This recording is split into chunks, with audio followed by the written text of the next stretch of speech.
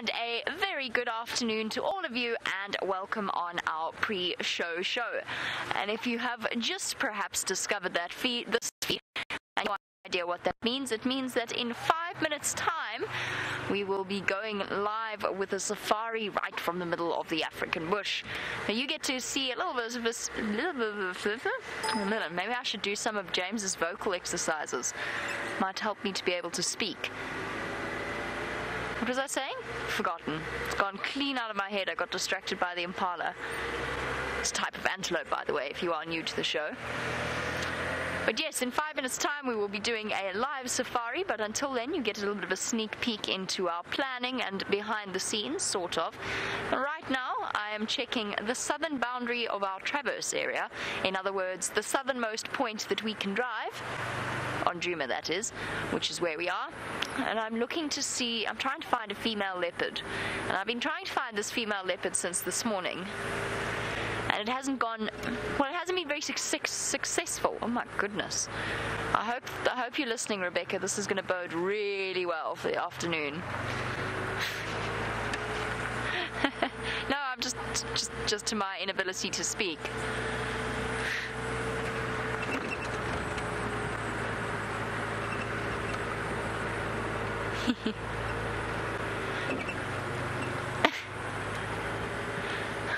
I don't know what you're saying. I'm sorry, Rebecca. There's lots of chatter on the Game Drive comms over you. Something about Bugsy Malone. I don't know what you were saying. Not a clue. There was something about Bugsy Malone in there, I think. So this morning, best. Oh, we should speak like we're in the 50s. How did they speak? Moving rapidly on, this morning we had an amazing moment where I got the name of a viewer wrong. Uh, quite spectacularly, and they then went and changed their username to match the one that I got it wrong. So, S Hack changed their username to Egg Sack because that's what I heard. So I don't know Egg Sack if you're watching, but I have to tell you that that did morning, just so you know. I thought that was highly, I thought that was highly entertaining.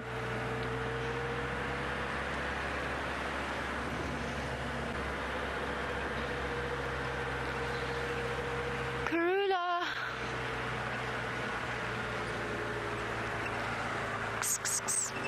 Where are you, girl? I don't know. I'm going to do one thorough check of the southern boundary, and then I'm going to go to Arathusa. We have two minutes left, Gert. What shall we do in the final two minutes? Probably keep driving. Keep driving. Keep driving. Just keep driving. Should we just keep not stop? just keep going west. We're gonna hit a fence at some point.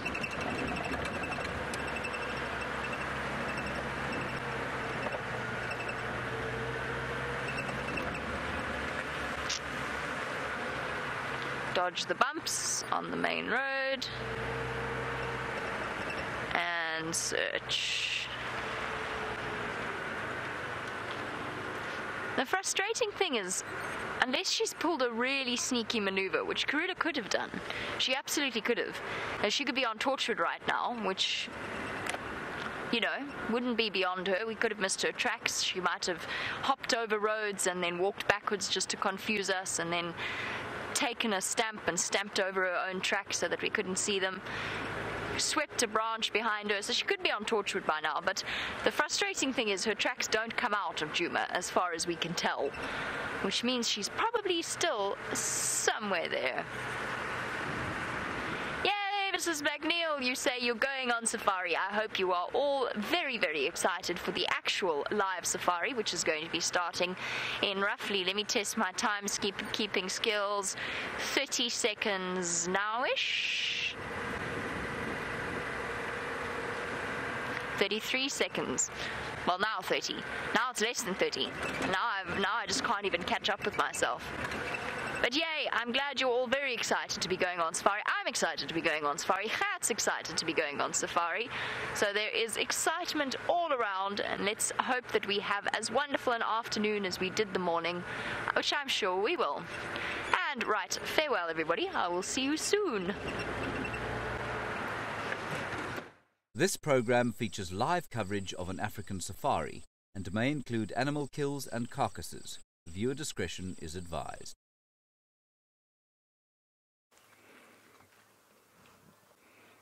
Welcome live to the African bush. We're a mere seven feet from a pride of lions feasting on a buffalo. This is Safari Live.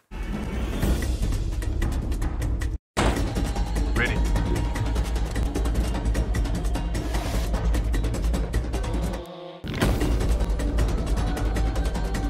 Standing by.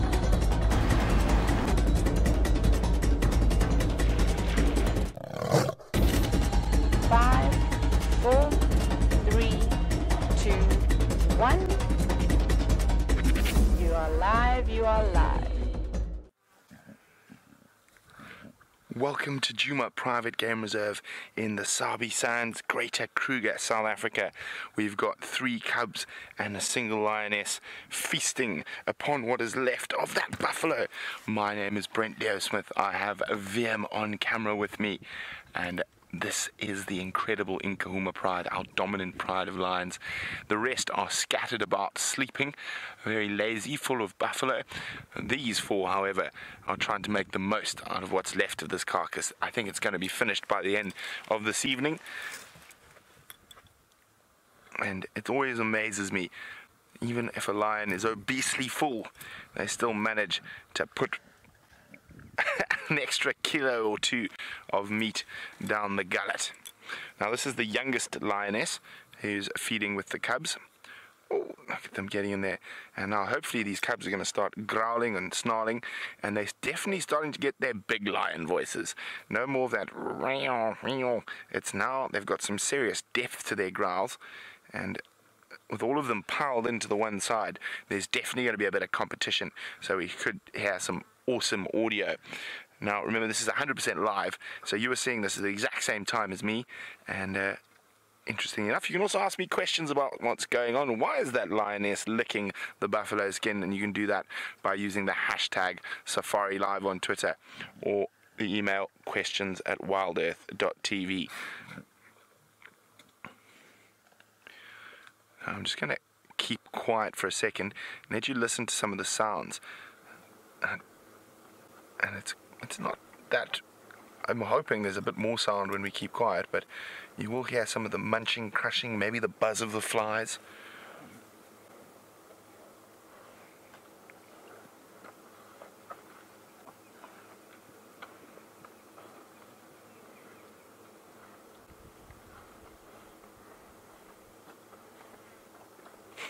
Of course, when we decide to try and keep quiet to listen, they don't make too much noise, but it is getting towards the end of this carcass. Now, the cubs have absolutely gluttoned themselves. The lionesses haven't had such a good run of it because there are also two males around here. You can see she's not looking like a soccer ball compared to the little one next to her who has got the most obese little belly. And yet he's still trying to wolf down as much as possible. I'm sure a few of you are wondering what it smells like so close to a buffalo carcass. Well, it's a fresh carcass from last night, and we've had a cool day, so it doesn't smell too bad. The, the strongest smell is of that of undigested grass. But we're going to sit here and keep watching what happens uh, while we do that. There's a few others out there who would like to say good afternoon to you. And a very good afternoon to all of you, and welcome on our sunset safari on a cold and cloudy afternoon here in the African bush. Now, you might be wondering, wondering why Gert was showing you a tree. That's because there's something hiding in the tree, and I'm going to get a little bit closer to show you what it is. But before we do that, my name is Jamie. I'm scared it's going to run off, and I have Gert on camera with me. Um, that is Gert, for those of you that are struggling with pronunciation. Also, he has been nicknamed Carrot in the past when he has come through to Wild Earth. Oh, cute. Don't run. You are so sweet. Can you see them there, Gert? Just peeping out on the side of the branch there. Go up a little bit. Wait, which tree am I looking? Yeah, go up a little bit. And there. Hello, little monkeys. A troop of vervet monkeys, two little faces peering out around the branches. Uh, the monkeys in this area are typically quite skittish, quite shy around vehicles. It's an interesting thing. Oh, don't do that. Don't go all the way down. If you go all the way down, you're going to run away, and we're not going to get to see you properly. There are certain troops that are actually fine around people and perfectly relaxed. Um, and then some of them, like the areas where we are now, which is on Zoe's Zoe's road, oh, so agile, and down again. And some of them are quite skittish. I'm going to see if perhaps they found themselves a nice spot where they feel a little bit more comfortable. It's okay, little monkeys. I don't mean you any harm one of the most common of our diurnal. Straight ahead. Oh, yes, there, I see. Oh, we're all going in. Which one shall we look at? Um, got monkeys there, got monkeys here. Let's start with these ones and then we'll move on to the ones next to the marula tree because I think they're going to stay there for a little bit. So, a diurnal primate, one of only two diurnal primates that, apart from human beings, that we see on the Sabi Sands them and vervet monkeys and chacma baboons. little fascinating little creatures. And Hannah, you say, are the monkeys here usually shy? Um, d- yes, quite often they are. They can be quite shy. It's the ones around the camp certainly aren't. The ones around the camp that we live in, which is known as the DRC, the Djuma Research Camp, uh, the monkeys come and go at their leisure. They run forward across the roof and generally torment us if we have made the mistake of leaving our breakfast for more than a few vital seconds. Um, but then the further afield and the further away that you move away from camps, then of course the more nervous and skittish they get. Um, these ones are okay. They just wanted to move up to the top of a tree just so that they felt a little bit more secure with us around. And I can understand your surprise because, of course, monkeys around the world are notorious for are notorious for being um, very, very brave and very brazen. We're going to go and have a look at the ones in the marula tree in a second as well. Yes, little ones, so that these guys can go and catch up with the rest of the troop. Monkeys around the world have are known to get used to the presence of humans very quickly. Oh, I think they're all dashing off now and they become very brazen. They steal things. They steal. They they mug tourists in certain places, um, and South Africa included. I have had many a surprise monkey that has decided to come and grab something from me. I have lost blocks of cheese to a monkey. Are there any up there? No, they've all run down. They're playing games with us this afternoon, Gert. Dashing around. Monkeying around, exactly. None of your monkey business, monkeys.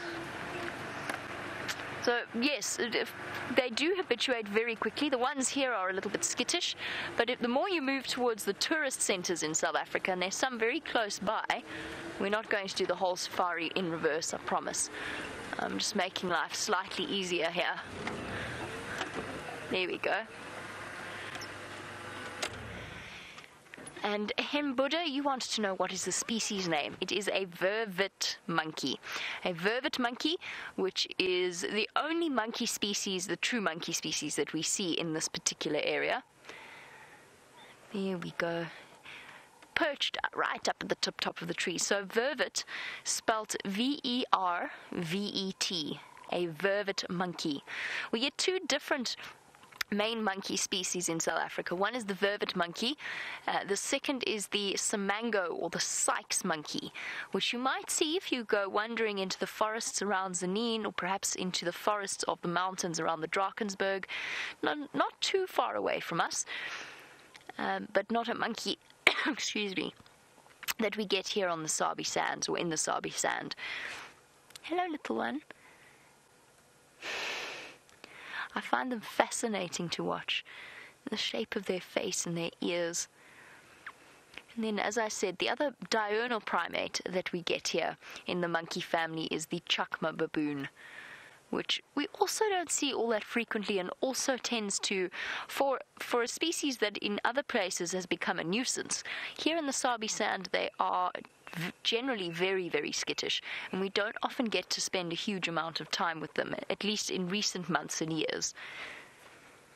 But I'm sure many of you who have been to South Africa in the past will have experienced at least once what a truly brazen monkey can be like.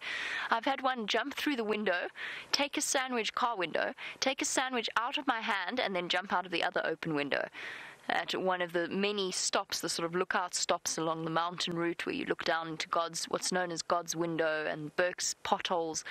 All of those areas up in the Drakensberg, the monkeys have learned that human beings mean free food. And for the longest time as a child, I was actually terrified of them. I was absolutely terrified of them because when I was little, I was actually chased by a troop of monkeys that were determined to steal whatever it was I was holding. And I remember being quite traumatized by that particular incident. It took me a long time to relax around monkeys. Right, well, speaking of being relaxed, uh, particularly in the bush, the vehicle is not the only way of observing the wildlife out here. Let's head across to Byron, who is on foot, so that he can say good afternoon.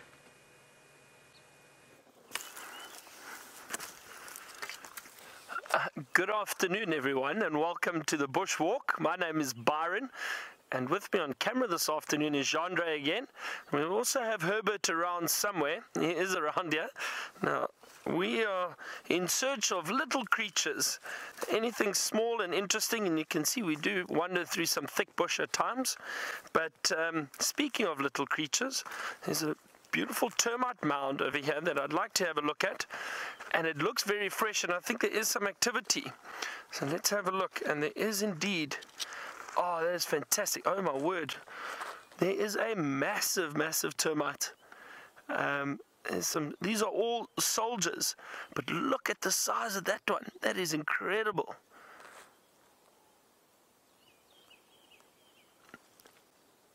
Now, these creatures and these termites are amazing. Look at the pincers on that one. And you can see as I hold my finger there, he wants to bite me. Now I'm trying to think if I can maybe get a strand of hair. Now I wonder if Jandre will sacrifice a strand of hair for me. Jandre, do you mind? Let me see. hold on. There we go. Okay. I've got a strand of hair. Now I want to see something, especially with this large termite. Now watch here. Okay holding it and come here. Maybe this, even this little one. Watch out. Look at that. cut, the, cut the hair right in half with those very sharp pincers. Isn't that amazing? There's another one. Um, I'm running out of hair. Look at that again. Isn't that fantastic? It's so interesting to see. Incredibly sharp little pincers. So these termites, these soldier termites, will come out to the edge of the termite mound and purely to protect it. Now what's happened is, today is actually very, very cool. Um, and the termites, and if you have a look down there, you can see there's an amazing chimney which they have created with tunnels throughout the termite mound. And what they do is the termites actually regulate the temperature of the termite mound through thermoregulation. What that means is by all the activity, now we need to remember we're only seeing a section of this termite mound. Deep down, there are millions of little worker termites which are probably in that termite mound at the moment, not to mention these soldiers who are all out here protecting it at the moment. By all their activity, by the activity from all these termites, they create, um, they create warmth and heat. And that is the thermoregulation that I'm speaking of. What happens is then the air circulates through the termite mound and they build these chimneys to constantly keep the flow of air moving through it. And what happens is they then regulate the temperature to a specific temperature between 32 degrees Celsius and about 34 degrees Celsius. It's really, really warm. Now, um, I think if my conversions are right, I think it's around 90 to 95 degrees Fahrenheit, or, be, or actually maybe even less, about eight, call it 88 to 92 degrees Fahrenheit, somewhere around there. And if I hold my hand over this termite mound at the moment, I can actually feel that warmth coming out. And the reason for that is they're circulating the air through the termite mound. It's a cool day, so it just helps regulate the temperature. When it is very, very hot, what will happen is the worker termites will come out and they'll probably close this entire section of the chimney. And if you have a look, they've done it off to the side you can see this whole section very new. The, the soil is still um, very soft, but they've closed it up to prevent air being lost through that chimney. But this main chimney is being kept open to keep the circulation going. So they are incredible creatures. And inside there will be a large queen, probably about this big, that'll just be laying thousands of eggs constantly. And the workers will transport those, those eggs away to a section in the termite mound, which is, acts as an incubation system. They'll put them on shelves, almost basically, it looks like little shelves. All the eggs are on there, and they get incubated until they hatch. And then those termites will then just join the colony and become either workers or soldiers, like these little guys over over here and they are protecting the entrance. So if anything tries to come and attack them, they'll use those sharp pincers to bite and also secrete a formic acid to chase whatever it is away that's trying to raid the nest or raid the termite mound. Isn't that wonderful? All right, we're going to head back to Jamie, who's got some warthog.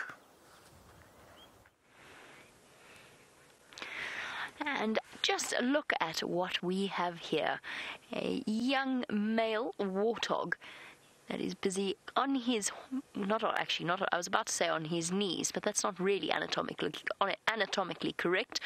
Uh, it is more like he is on his wrists, leaning forward on his knuckles and snuffling away at the green green grass. And isn't it wonderful to see the animals of the Sabi Sand enjoying a meal of green grass after all that they've been through? And we've watched these poor warthog struggle to find sustenance and to find food for themselves during this drought and during the dry season. To, to, to see them being presented with such an array of good food is a truly uplifting sight indeed. Yes, boy, I'm talking about you. This is another animal that sometimes you have to get lucky with. Sometimes they're very skittish and sometimes they aren't. And this young male is also particularly skittish despite the distance that we are from him. Now, how do I know it is a male for our newer viewers?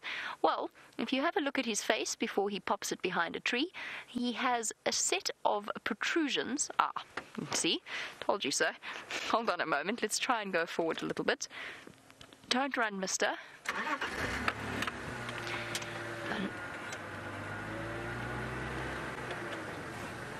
Hmm. Now don't go away, please.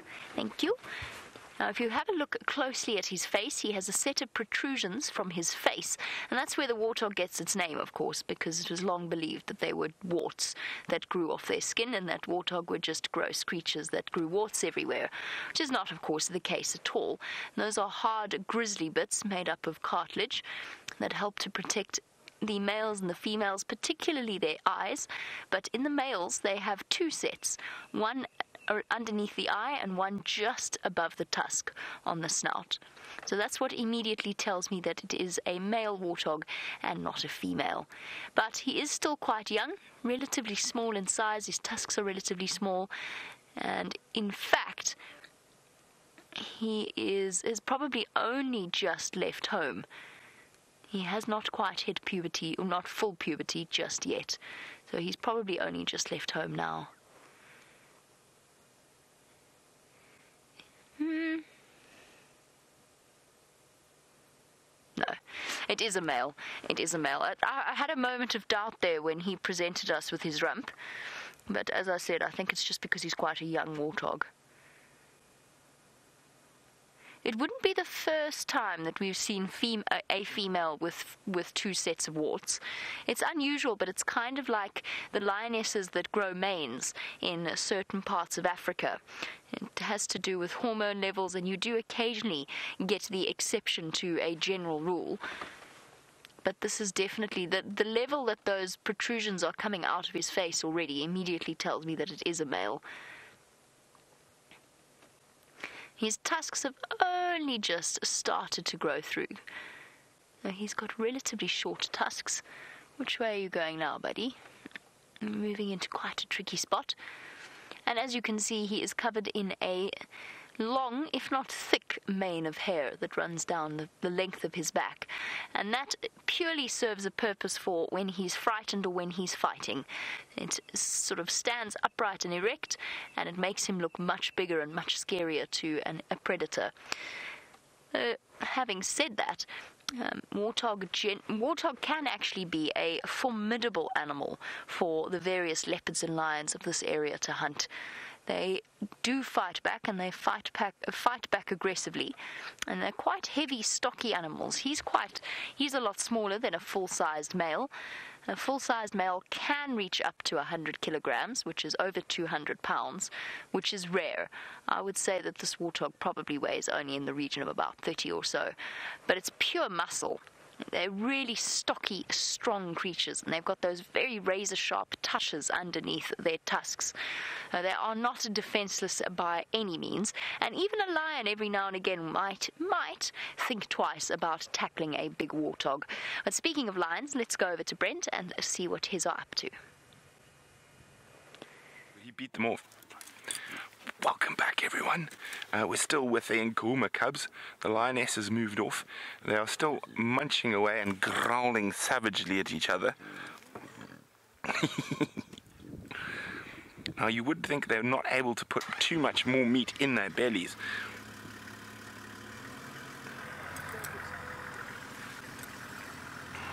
Look at that. Munchy, munchy, munch. Only one of the smallest cubs still feeding away. Defending uh, the hip joint.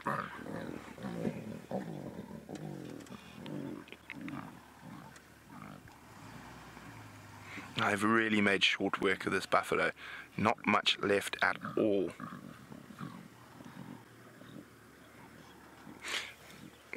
You look like you're about to cause trouble, you. Or you're going to go find your own spot. See, that's trying to hook the this. He was trying to hook the skin so he get his nose in under the skin.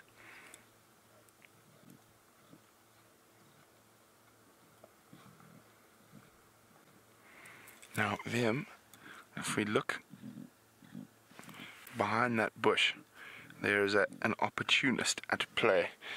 And so when it come out, there we go, it's moving behind, oh sorry, there. Let's just see if it pops out. I'll keep an eye on it, but there's a, there's a, look like a, a greater blue-eared glossy starling. Here he comes. Now, with a carcass like this, there's obviously quite a lot of maggots already, and with the lions dragging it all over the place, you're often going to have maggots lying on the ground, and the starling has come in to take advantage of those maggots. And it is a, Oh, no. That's not a maggot. That's. Is that lion hair you're picking up? Are you taking. You're going to go put lion fur in? That looks like a piece of a male lion. Or actually, no. Buffalo tail, maybe.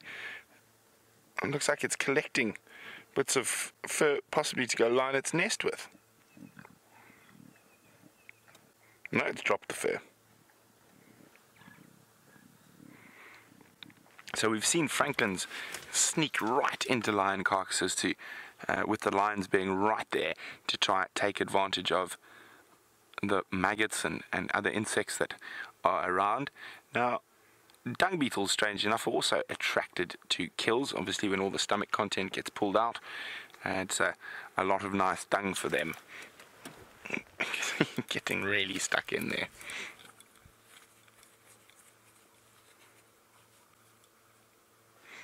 And that one's just doesn't want to move. It's still growling, but it's more sleeping than feeding.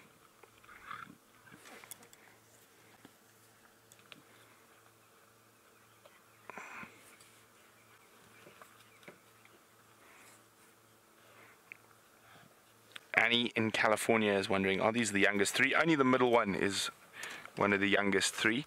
Uh, the other two are, are bigger.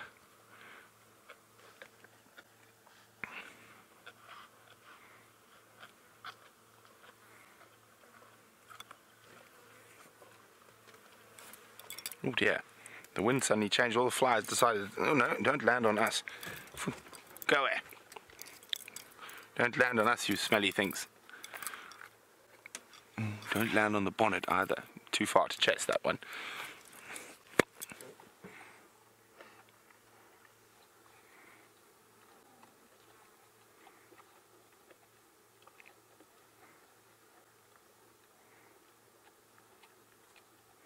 Hey, you guys. Hi, Sharon. Sharon's wondering, do we know where the rest of the pride is? Indeed, we do, Sharon. We, they're all sleeping very, very, very flat through the bush there. So we're sticking with the, the little guys who are the most active, and then the there we go. That's about the most movement you're going to get over there at the moment. Uh, and yeah, flick and a and a stretch. And then Mfumo, the authority, is sleeping over there. And Dino and Amber Eyes are sleeping another 30 meters beyond there. But I think we'll stick with the, the little guys who are busy. It's quite nice. I wasn't expecting to have this much activity around the kill. I thought we'd find a, a, a solid carpet of cats, but fortunately, these little guys are hungry, hungry, hungry.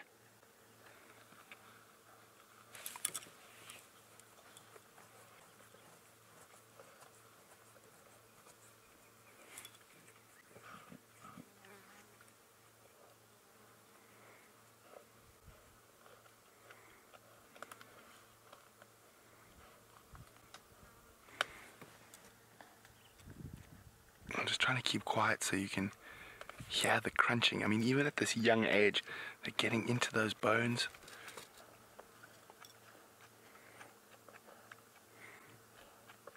Cutting through the skin. Using those premolars. Now, the oldest ones have probably lost, if not all, but most of their milk teeth, and their adult teeth will be coming through. That little one in the middle might still have a few milk teeth. We'll have to see if they. Ooh, you're going to be a bit of a growl. Are you going to manage to sneak in there? Alright, let's climb over.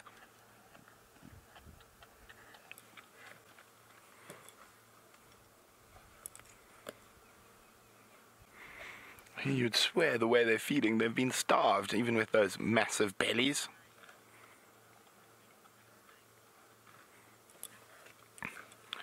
Now, of course, the lion cubs are almost exclusively reliant on their mothers for meat, and Anna's wondering will they ever eat things like bugs or or birds.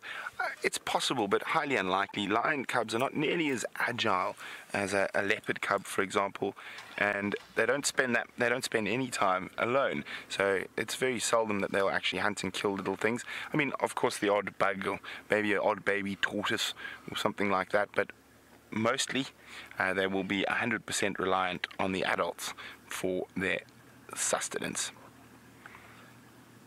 Now, I think they probably going to be being weaned at around at the moment. So they will still be suckling a little bit, but very, very, very little. Almost 80 to 90% of their sustenance is going to be coming from uh, nice, rare meat.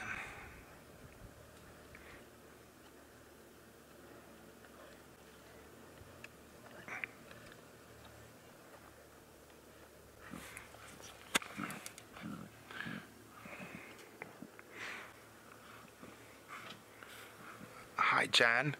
Now, Jan says they've got full bellies, but it doesn't look like they're putting on condition. Well, Jan, I would I disagree with you on that one. I would say they've put on a lot of condition in the last week uh, in comparison to what they were. And they are. And, and, and sometimes the condition isn't as, as obvious uh, to see. But for me, I think they've put on a lot of condition. And the biggest thing for me is that they've managed to move. Now, they've moved a good four, four and a half, five kilometers from where they were. uh, and where they stayed for many weeks, and they didn't move too much, too far from Gallagher Shortcut. They've now moved all the way to Cheetah Cut Line, right on the eastern edge of our traverse area. So they, they, I would say they've put on a lot of condition in the last 10 days or so. And I think they're looking much better, and, and Amber Eyes included in that, because she was also looking a little bit iffy. She started showing some uh, bad stuff with her legs and it collapsing, but I think they've definitely made a, a really, really good recovery. And of course, this is the wild, and uh, they might have a, a, lapse again, but I don't think so. I think they're over the worst of it. Uh, especially if we get a bit more rain and the the buffalo pick up condition and they start eating a few other things like kudu and zebra and I really still think they should eat a hippo. He's got lots and lots of fat, subcutaneous fat. Anyway, we're gonna we're gonna sit here uh, for a little bit longer, see what the lions get up to. Uh, if they don't get up to too much, we might go move. I heard some elephants feeding down there, but uh, Jamie has got some wildebeests to show you.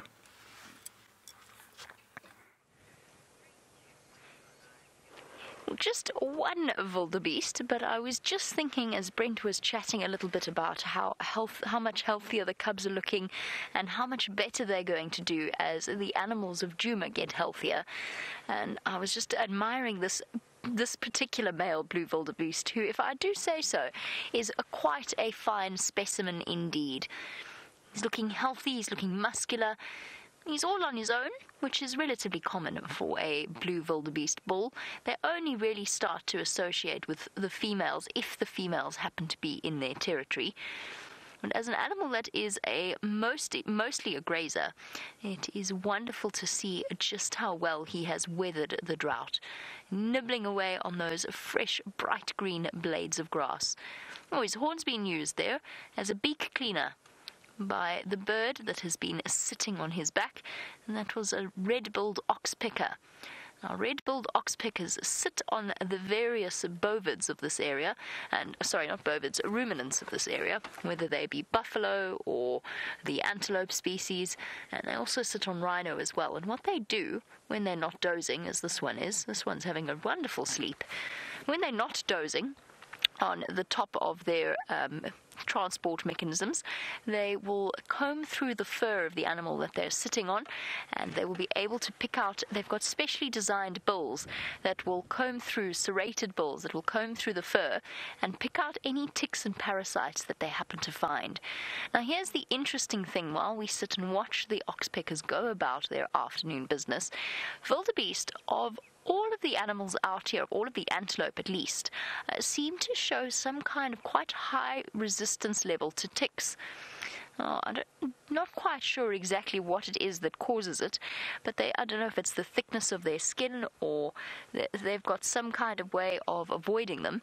But in general, a, a wildebeest tends to have about half the number of ticks of a similar sized animal, because obviously you can't compare the number of ticks on, say, a steer. Well, I suppose you could in a way, but the number of ticks on a steenbok to a wildebeest. Um, but in terms of the species of tick, let's go over to Brent, see what's happening. Okay, so suddenly nothing was happening, and then Mfumo came rushing in with amber eyes. I can't see where Tinyo is. Uh, it looks like she's flirting with him. Where's Tinyo? Ah, Tinyo's flicking his tail in the distance. There's some growling between them.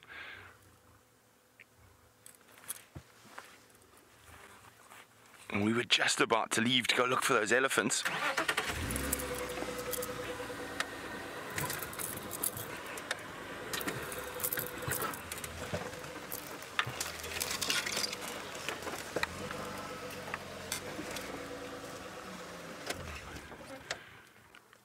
And that's the thing about being live, you literally have no idea what's going to happen next. This could get very interesting. All the other lionesses are trying to move away from this.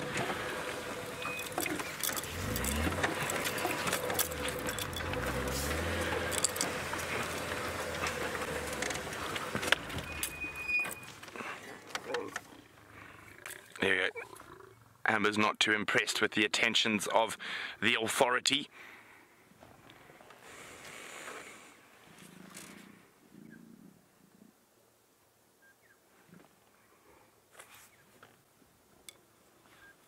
Look at that snarl. Cubby, I'd move. You might be the reciprocant of a an, an un, unintentional swat directed at Mfumo.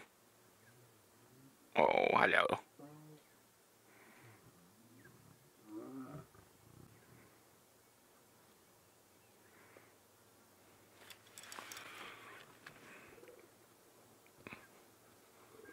Here uh, we go. Scent marking. Just in case Tinyo didn't know who was boss.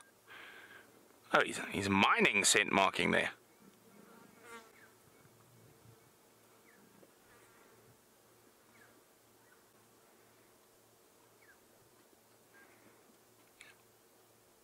Let's just wait. He might get a swat as he...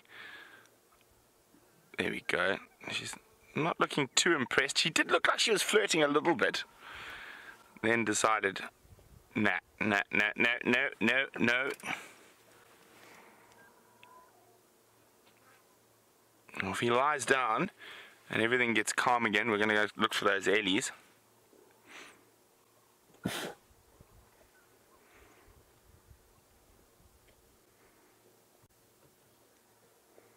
Oof, that flicking tail. That says, be careful you. I'm out of here. You can see when a, when a male wants to mate, he can be very aggressive. All the other lionesses are trying to give him quite a wide berth. Ah, there's the female. There we go. Old Amber is not looking too happy with all the attention. She's just trying to hang out with her the other females.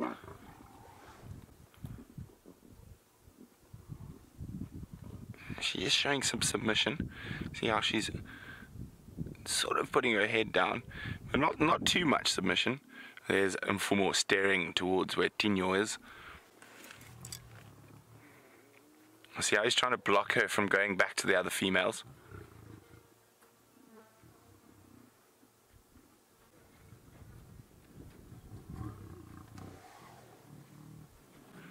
Trying to put his... oh, well, he succeeded to a degree in keeping her away from the rest of the pride.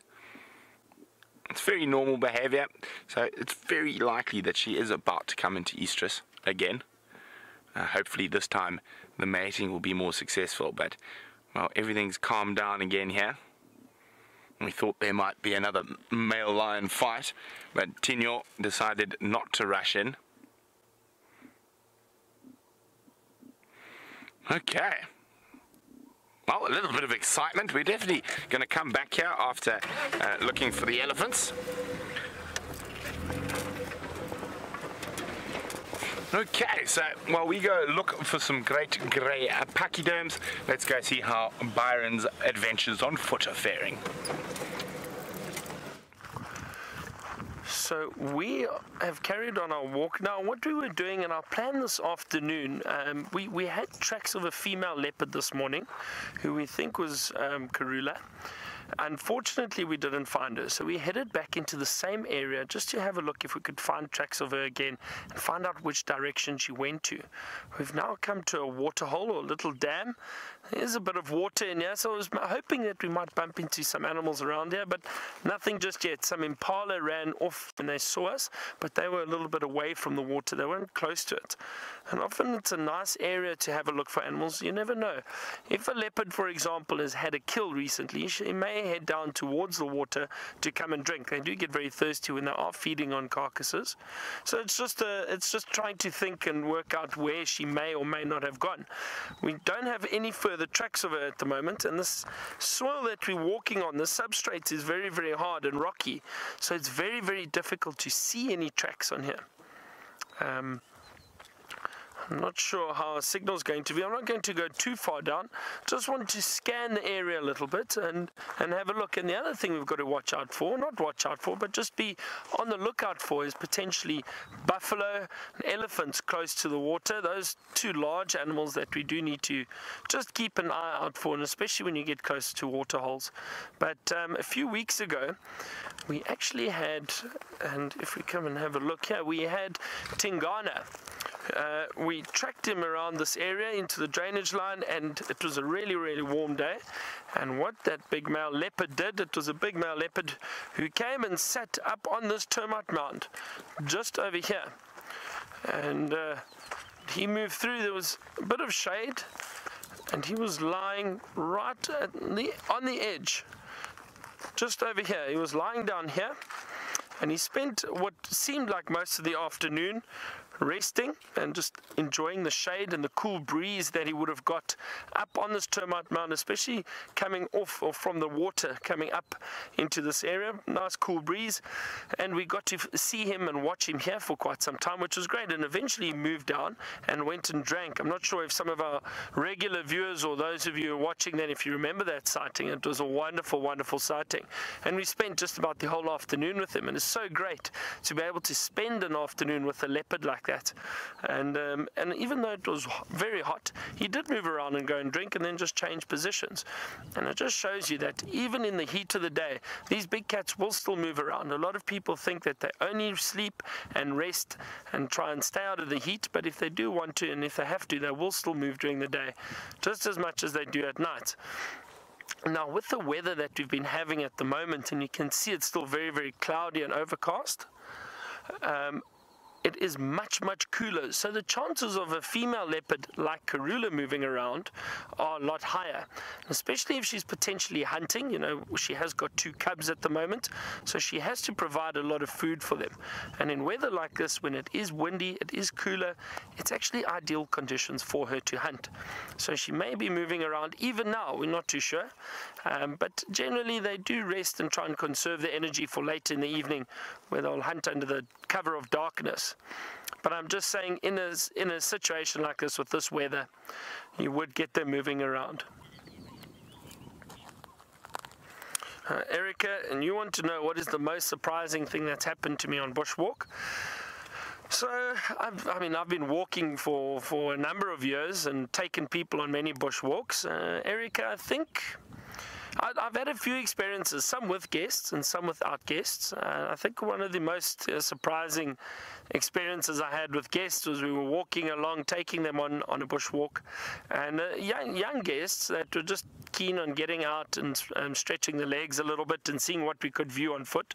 We got into an area where we had an idea that there might be some lions, and we saw their tracks and followed their tracks for a little while, and uh, got to a section where we saw.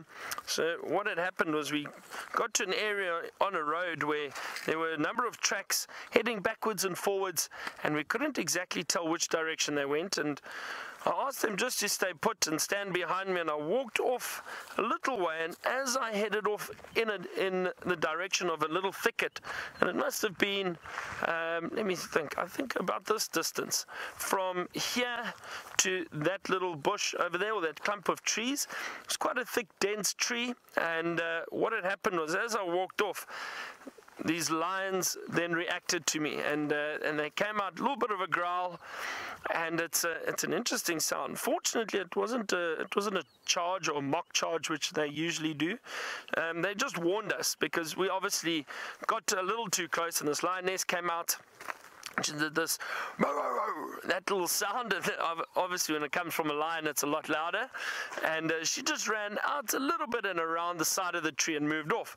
And the rest of the lions actually lay flat under the under the shade of the tree and just watched us. So we slowly backed off and uh, they then relaxed again and we viewed them from about 150 meters away. Um, about 100 150 meters away just through some binoculars watched them watched them settle down again and then we headed back to towards camp. But uh, that was quite an exciting, exciting uh, uh, little scenario that we had on a walk. Anyway, we're going to continue our search for any signs of leopard in this area. Let's head back to Jamie and get an update from her. Oh, speaking of surprising things, it would be a really lovely surprise if perhaps an impala decided to give birth on the sunset safari. Uh, I'm not just, that's not just a random suggestion. Some of these females in this group look absolutely massive. And their stomachs have changed shape as well, almost as though I don't know. I don't quite know how to describe it in official terms or in um, in proper scientific term, but it looks as though the babies have shifted position in a few of these ewes, and they don't look they they look more round in some in other places and less round in the places they did look round in if that makes any sense. Look at that. You can actually see the bulge of presumably a hock or a, an elbow digging into her side and some of them are walking around with great care in their steps, you know, very gently moving around as if they just are really just too scared to move very fast and can't move very fast at all. That, of course, would be completely overcome if a predator were to come barreling through here. But for our new viewers, our impala all give birth, not exactly at the same time, but roughly the same time. And almost every single female that we're looking stopped to look at at the moment, except for the little ones, the ones from last year, almost every single one of them is pregnant. They've done an amazing job to get through the year. Now, I saw my first baby impala a few days ago. It was fascinating. We've got a little male on the left here, and he is a year old. So this this was him being born this time last year. What was fascinating to watch with that brand new baby impala that we saw the other morning was how incredibly curious the yearling impala are about this strange new wobbly thing. And that sense of curiosity will fade when they start to see, you know, one, two, three, ten, twenty baby impala. But I think that was the first baby impala that those males had ever seen in their lives. And they were totally confused by this little creature, full of strange new smells, like a miniature version of its mom. Uh, we're stopping with each and every single impala herd just to make sure that there's no little babies hidden on the outskirts somewhere. Look at her. Oh, you poor thing. You have to admire them. The strength that they manage to show in the days leading up to the birth. Because an impala baby is born not as small as you think it would be. Uh, they are very, very well developed. They are ready to run within a few minutes of their birth, which of course is necessary for survival out here. And as a result, they do have exceptionally long legs, which you would have seen when you, or you will see when you see the new Impala lambs. And all in all, at this stage, I'm sure the females are really quite ready to get rid of them. Now, we've seen we saw the female getting kicked earlier. That's not her getting kicked, by the way. That's a muscle twitch in response to flies. Uh, but we have seen the females, the fetuses moving within the females. And Sammy Sam, you wanted to know if the fem- if the impala lambs are born with that soft coating around their hooves.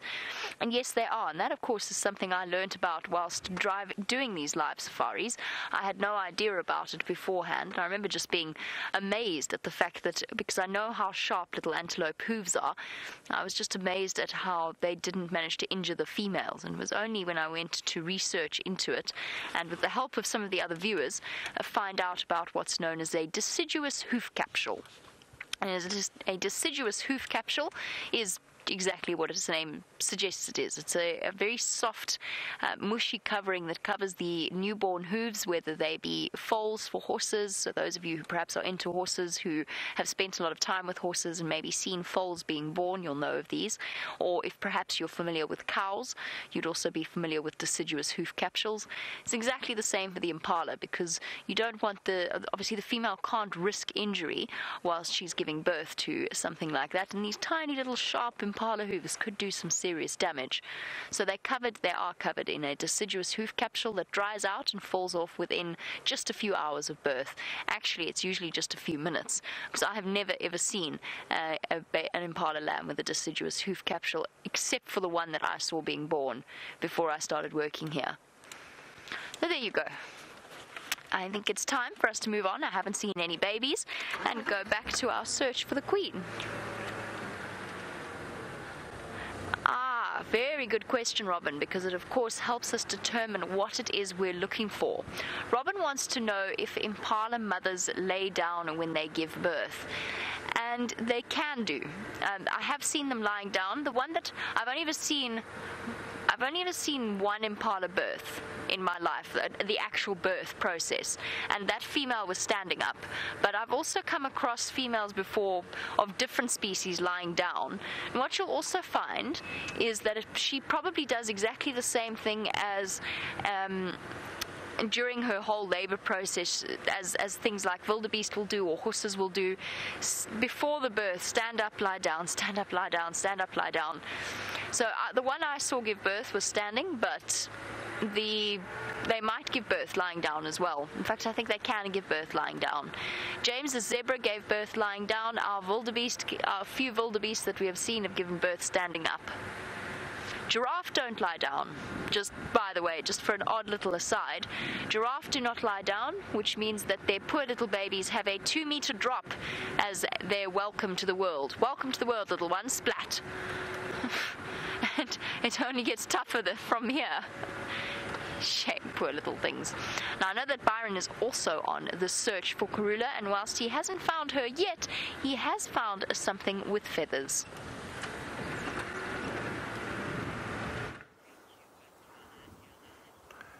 I have indeed found something with feathers a beautiful tawny eagle that is sitting right up at the top of the tree. Now, this beautiful eagle is actually quite a nice bird to follow around, and I'll tell you why is because they are scavengers. So, the tawny eagle, as well as a bateleur eagle, they do scavenge a lot, and often they will get to carcasses or certain carcasses before vultures do. Um, so it's not a bad thing to sometimes follow a tawny eagle around and see if they do swoop down and they may take you towards a carcass. And it could be anything.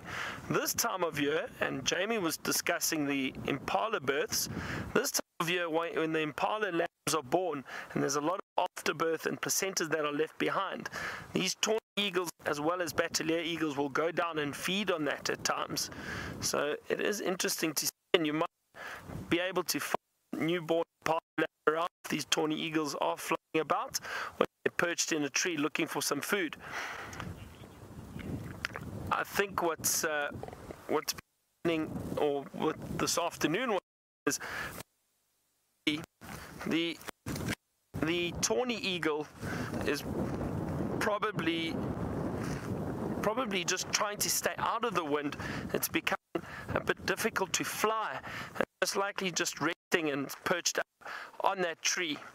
And um, but what a beautiful sighting of the tawny eagle. It seems quite relaxed and happy up there. I don't think it's going to move anytime soon. But a beautiful eagle to see in this area. And we haven't had any further lack or signs of this leopard, um, but we're not going to give up just yet.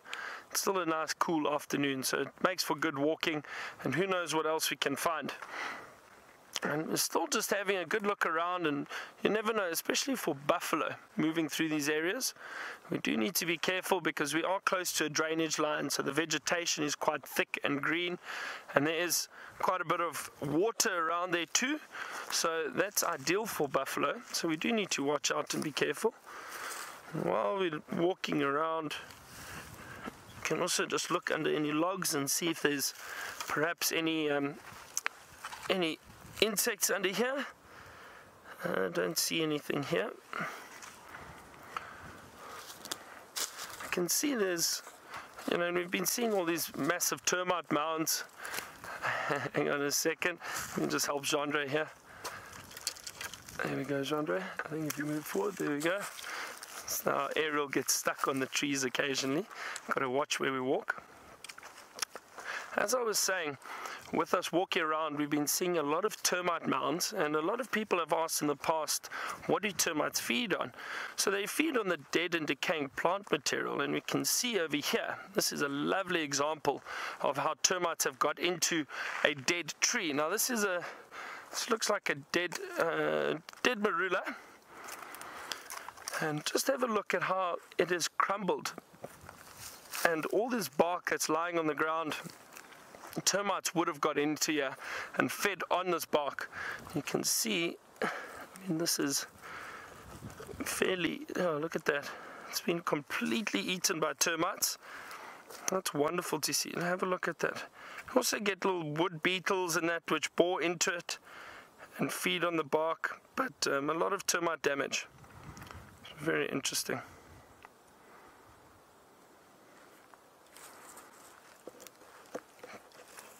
Fits together like a little puzzle. All right, we're going to continue our search and carry on with our walk and see what other little creatures we can find, or even birds. Let's head to Brent, who's got some large animals to show you. Well, it's amazing how the biggest animal in the African bush can also be one of the hardest to find. Now, I just managed to spot through the thickets uh, an elephant. Now, I'm hoping that they're going to move out. There we go into slightly more open area, but they're on the, the other side of a steep riverbed, and I'm pretty sure this is the same elephants I heard while we were with the lions. So we're just hoping that they're going to come out, but they're not being very helpful at the moment. And they're just staying in those thickets. No, now they're going the other way. Oh, well, dear. We're not. Oh, wait, is there another one coming through? Oh, look at the little one. Well spotted, Jim. There's another one coming through from from behind that thicket there. Come on, come cross the riverbed. Come to us. Remember, this is live, so we can't put them in the perfect spot. We can't wait, uh, and uh, we just have to take it as it goes. There we go. And it is lovely to spend some time with Ellies, even if they are slightly obscured by the lovely greenery and green flush that's popped around since the rains.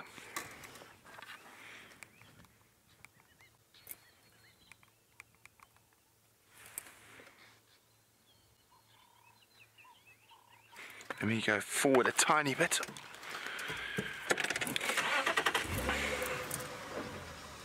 Oh no, I don't think we're going to get much better of a view. How's that one, Vim?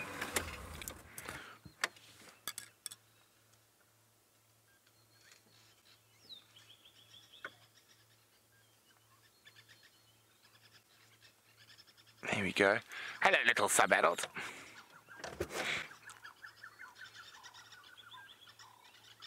Now has gone behind the thickest of thick spike thorn bushes.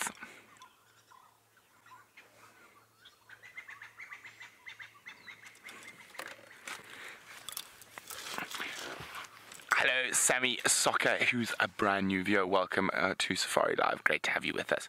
Now, Sammy would like to know what is the best thing to do if you're charged by one of those? Now, Sammy, it's going to sound counterintuitive, but 99.999999% of the time, the best thing to do when you are charged by an elephant is keep still. uh, keep still. Sometimes I'll bang the side of the door to make a noise, or sometimes I'll shout at them in a very stern voice, give them a talking to. But if you try to drive away quickly, that often will incite them to charge more seriously. So often the best thing to do is to keep very still and uh, stand down the charge, so to speak. It confuses them a little bit. And they think, well, I'm the biggest animal out here. You should be running from me. So if you're not, ooh, you must be very, very scary. But uh, that doesn't happen to us too often. Fortunately, we are experts in reading elephants' body language. And uh, an elephant who is unhappy or aggressive, you can normally tell that from long, long before it's going to charge. And you just don't go close to those animals. You leave them alone, you give them their distance.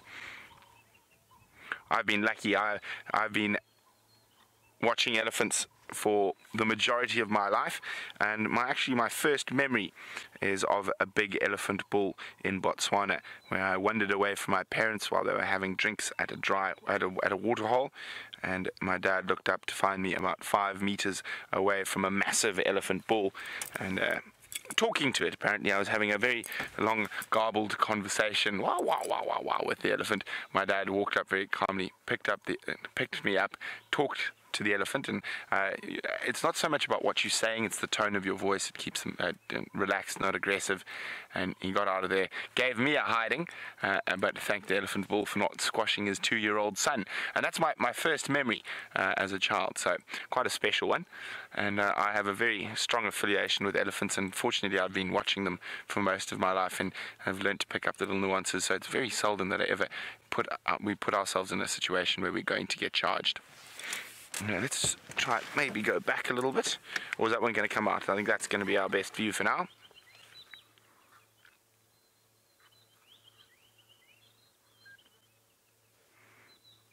Okay, well, those ellies are off.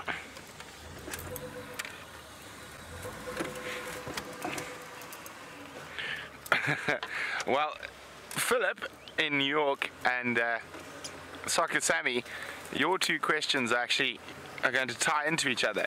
Now, Philip would like to know if an elephant stood on a termite mound. Oh, there we go. We've got a nice view there. Um, would it collapse and what would happen? Well, most of the time, uh, the termite mounds are quite nice and solid and they don't collapse. But in certain circumstances, uh, especially around the edges, or if it's been excavated by an aardvark, uh, they can have some weak spots. And not that long ago, I was driving down Zoe's Road and we saw a herd of elephants and we stopped there and we saw this young Ellie was playing very nicely all around us and he stepped into a hole and had a complete panic and screamed and got all the females upset and they thought I did something to him. They rushed towards his aid, but no, he just fallen in a hole. Uh, they can collapse termite mounds, uh, but it is quite quite unusual, not not normal. And that was the closest I've been to being charged recently, was because uh, a little elephant fell into a hole in the termite mound, uh, screamed, and mom decided to blame me, even though I had nothing to do with it. And in that situation, what we did is we kept dead still, and then everything calmed down. Yeah, well, those eddies are moving into some thicker bush. Hopefully, we'll be able to find some more uh, closer to the Buffelshoek waterhole, which is where I'm heading now. And uh, while we do that, uh, let's go see where Jamie is and what she's up to. While Brent heads off to check the waterhole, um, both Byron and myself trying to track down this elusive female leopard. And it seems as though the only successful tracking I'm about to have, I would think, is encountering the team that's on foot, judging by their very fresh tracks walking along the ground in front of me. And we might actually happen upon them. But I was thinking about it while I've been driving along, since the animals are hiding away this afternoon. They're all sheltering from the cool and windy weather. I was thinking about my most surprising moment on foot, and there have been many. Um, you are almost guaranteed you're going to have a surprising moment on foot.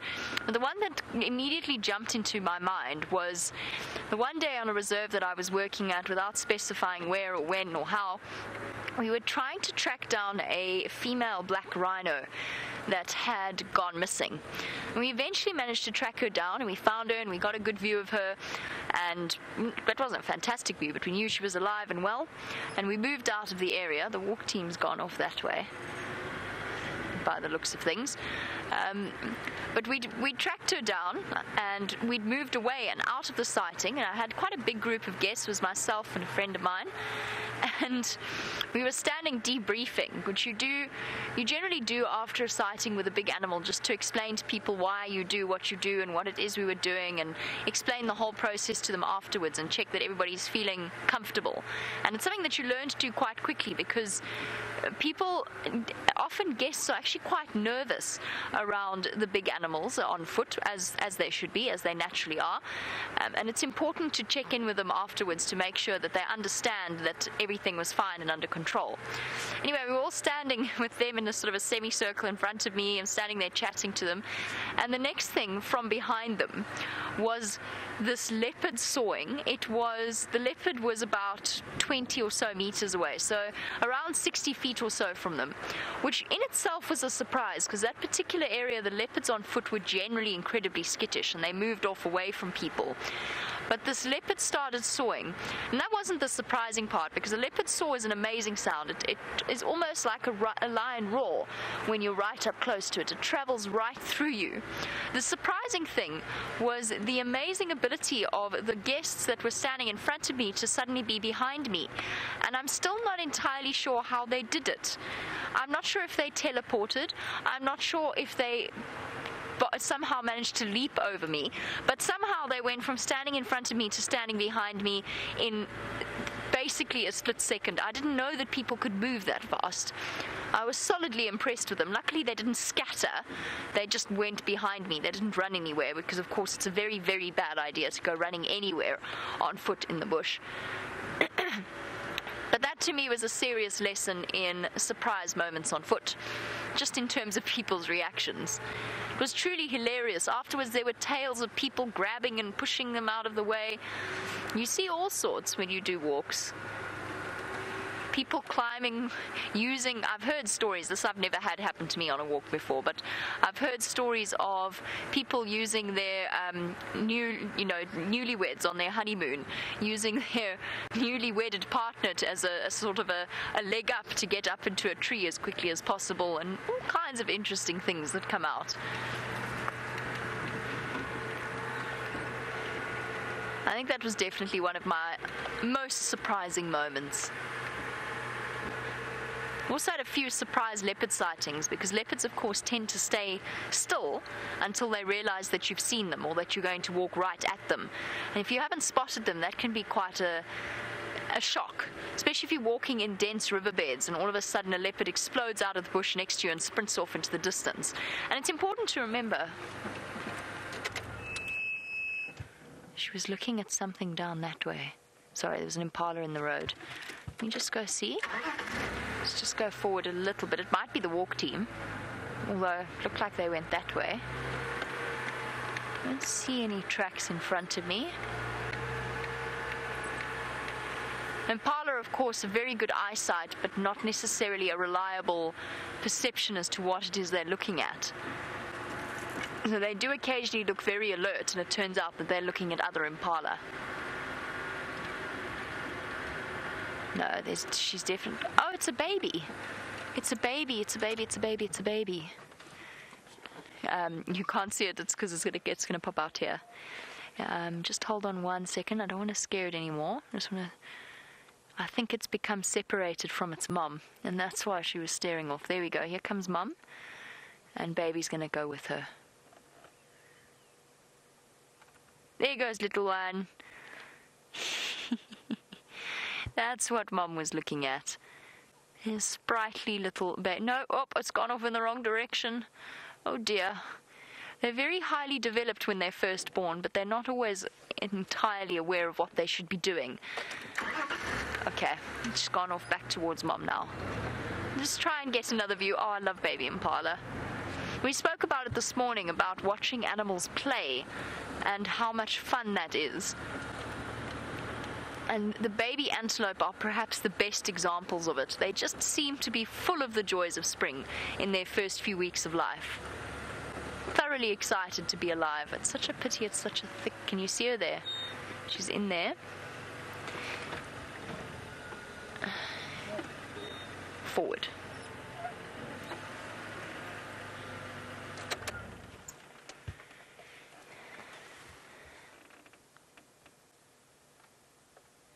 There's Mum. Where's your little one, Mum? It's amazing how the ewes change shape and go back to their original sleek form almost immediately after the birth of their offspring. Let's just wait and see if baby catches up. Here we go. A little one.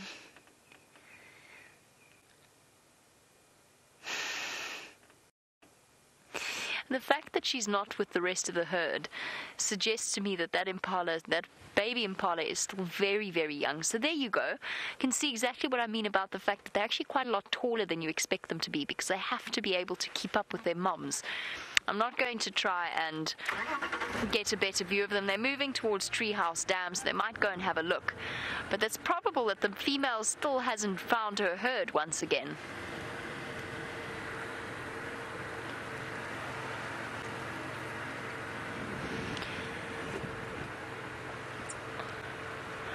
We have a question, and I'm sorry again, once again, I'm not entirely sure that I've got your name right, um, but you've asked a question about what?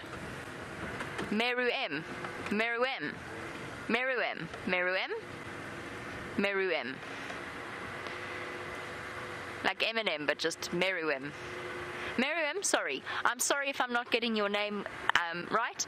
But you wanted to know whether or not all antelope have holes in between their hooves. Yes, they do, and I know what you're saying. I'm just going to stop briefly to try and explain this because the the antelope hoof structure is an incredible thing. Oh, no, I'm not. I'm going to move off the road and explain it to you because the antelope hoof structure is an incredible thing. And we're going to look at a cuckoo that I can hear somewhere. Where are you?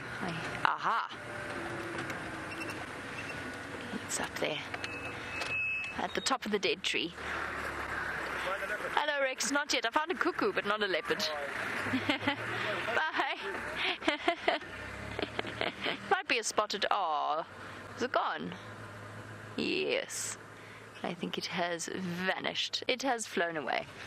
Right, sorry. So the gap the gap in between a an antelope's toes is not actually a gap it they have two separate toes so it's not that they've got a, a hole in their feet it's that they have two toes that are almost joined together right sort of up until the last moment and that's where they split.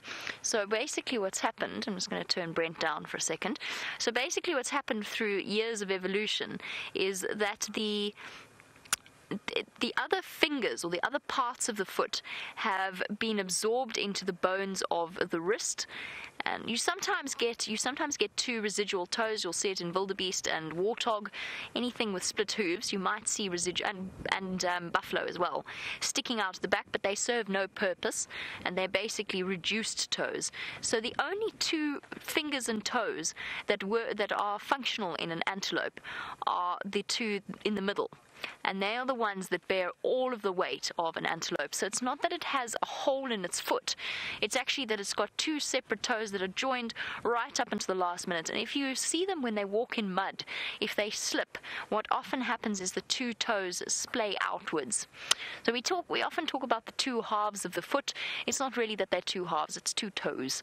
And I'll try and find you a nice example to demonstrate that, although I have to confess that it's not ideal tracking conditions, right? It's not ideal track looks at the moment. Track looks? It's not ideal track looks at the moment. the cuckoo, by the way, looked like it was an African and sounded like it was an African cuckoo. But unfortunately, it has deserted us, as things with wings on live safaris very often do.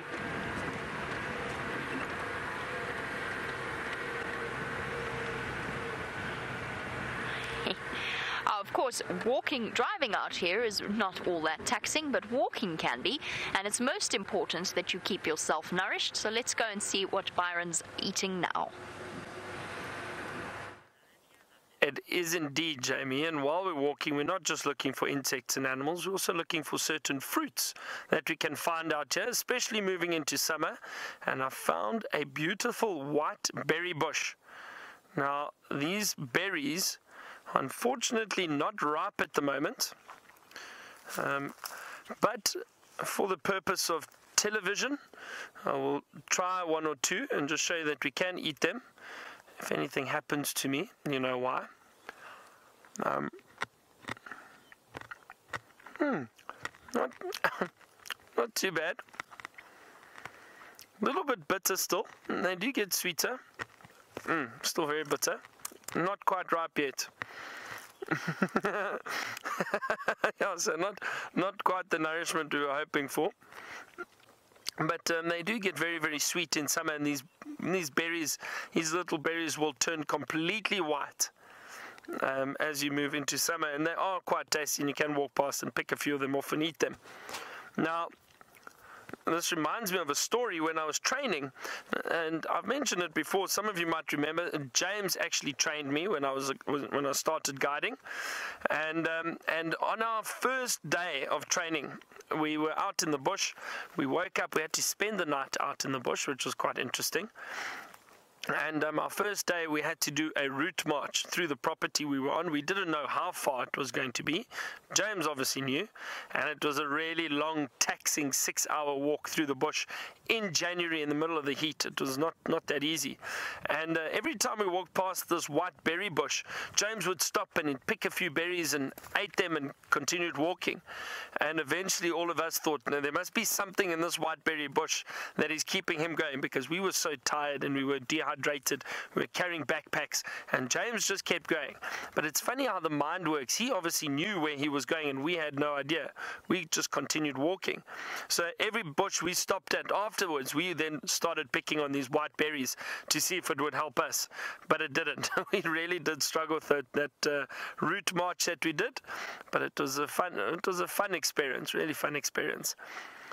Something else that I've noticed on this tree, or this little bush, is just over here. Um, hang on, let me unhook you. there we go. So have a look at this. We've got a millipede sitting in the whiteberry bush. Now that's quite interesting because usually we see the millipedes wandering around on the ground.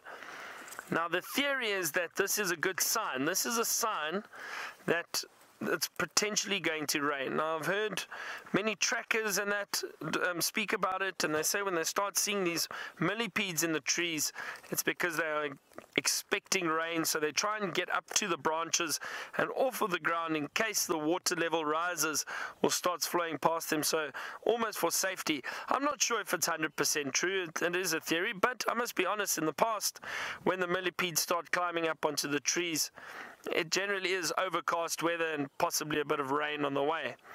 So who knows? Maybe this millipede has got it right. And hopefully, because we are expecting rain this weekend, that's the that's the weather report. Um, so who knows? It would be wonderful to have some heavy rain again. We do need it and get the dams nice and full. So we haven't had any luck with finding Karula this afternoon, or a, a leopard for that matter. And I think what happened was this morning we had tracks of her. Well, we headed back to the last tracks we had, and then we had those of you would have watched this morning. We did have kudu alarm calling, and we tried to rush to the area where we heard the kudu alarm calling. We think perhaps they had seen her, but we couldn't find any tracks in that area. And I think what happened the female the female eventually headed off east as opposed to west and we ventured this afternoon we actually came west from where we last, saw the tracks just to see if perhaps she didn't change direction. But i think what happened was she moved off in another direction. Um, we are going to continue though looking for perhaps some more fruit or other insects but jamie has got something really small and cute she'd like to show you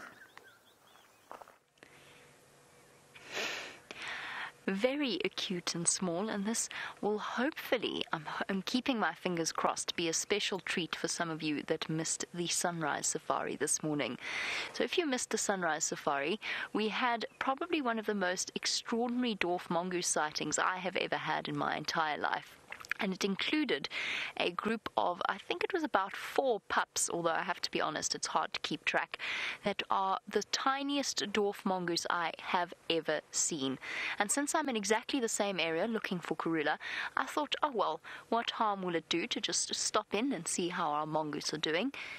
Uh, on a cloudy day like today, now we've spoken a lot about how the animals will be rejoicing with the rain and the good food, and the dwarf mongoose are no exception.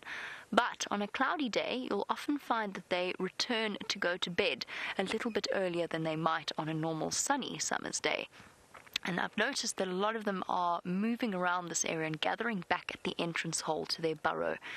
Now, this is one of the older ones, and in fact, I think it might be one of the babysitters that was left behind to look after the fall wriggling pups. But it was absolute chaos this morning, and I have to tell you, I've never seen anything like it. And as I said, I have never seen dwarf mongoose that young. They were out of the burrow and they were dashing around, and the poor adults were desperately trying to round them up and put them back in the burrow so that they could spend their morning foraging and getting food for themselves.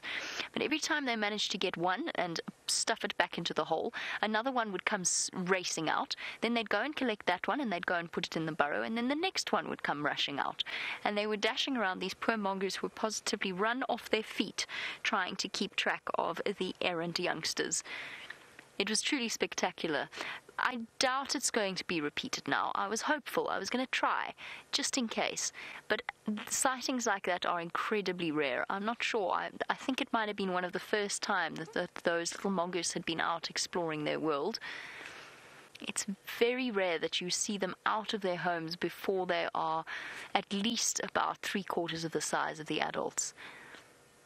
And during their time of growth, the entire family is devoted to looking after them, which is why I mentioned the babysitter. Dwarf mongoose do leave babysitters behind to help to care for the pups while the adults are out. This might be one such responsible youngster. And that's not to say that they don't leave the burrow every now and again, um, but they will always stay within very, very close proximity to the little ones. No, not interested in my random squeaking sounds at all. There is one little one that is closely watching us and has been closely watching us the entire time, and I do enjoy them. It's, I don't know if you can see it, Hat, from your angle, or if it's a little bit too hidden behind the tree.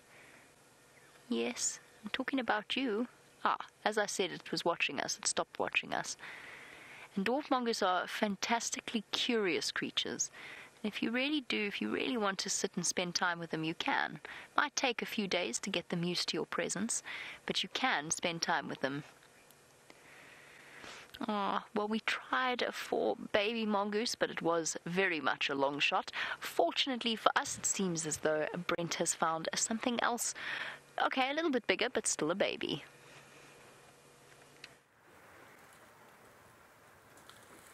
Well, it's the same herd of elephants, and we did a loop because I thought they might cross that steep little drainage line, and they have, and now they're right next to us. Look at the little guy, so sweet. Let's see if he's an adventurous little fellow. Is he going to come inspect us, or is he going to stick close to mom?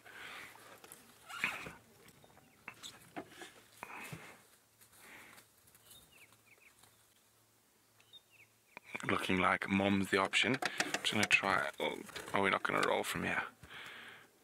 I'm just trying to move forward a tiny bit. Oh, wait. Hello, little one. Probably a month or so old. You can see it's lost that sort of baby fluff that the ones under a month have. Not a very big herd of elephants, maybe seven or eight. So it'll generally be made up of related females and their offspring.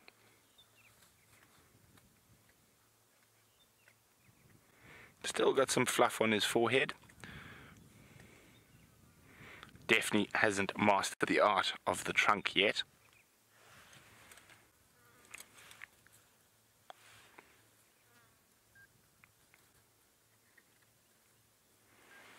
At that. Okay, let's try move forward a little bit.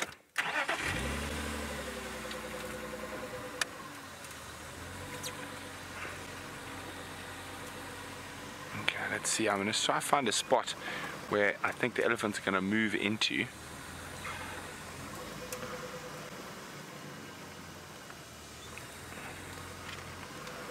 There we go.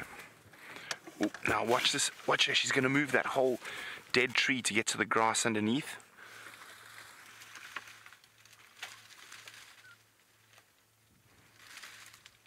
Now, elephants are able to utilize some of the sort of grass and, and things that other animals aren't because they're so strong they can lift any dead branch that's probably been put there by them uh, to get to the grass that's been protected underneath there.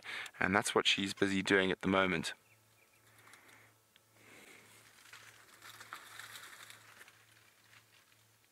You can see it's a massive dead knobthorn.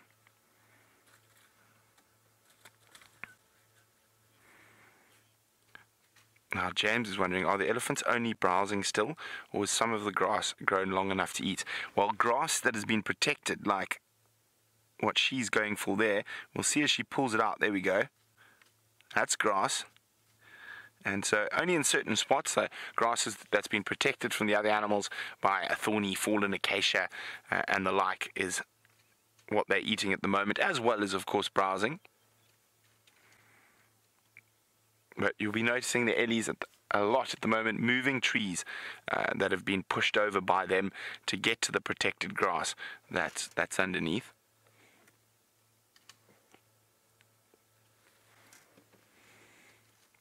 Maybe you see how she shakes off the dust before popping it in her mouth.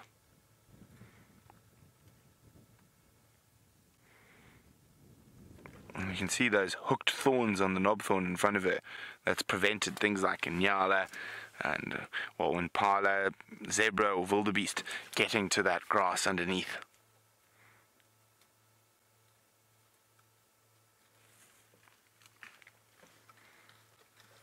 Oh, she's going to move it again, looks like. Incredibly thick skin, uh, impervious to the hooked thorns of the acacia.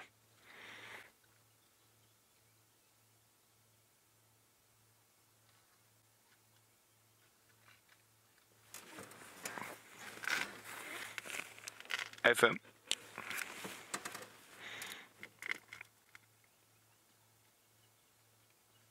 Sorry about that. I was just on the game drive. Andrew was asking if we could still see the elephant, and that looks like an elephant to me.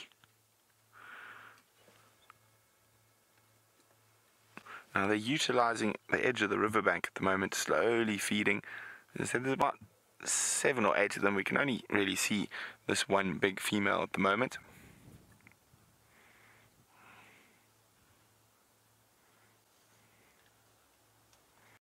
There we go. Looks like she's going to come out. Or she found something good to eat above it.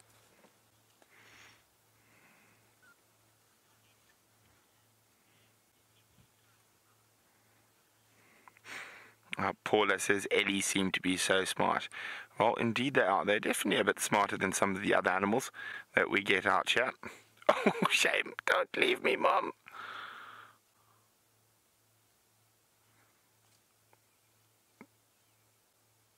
Mom. Mom's looking for the next spot to feed.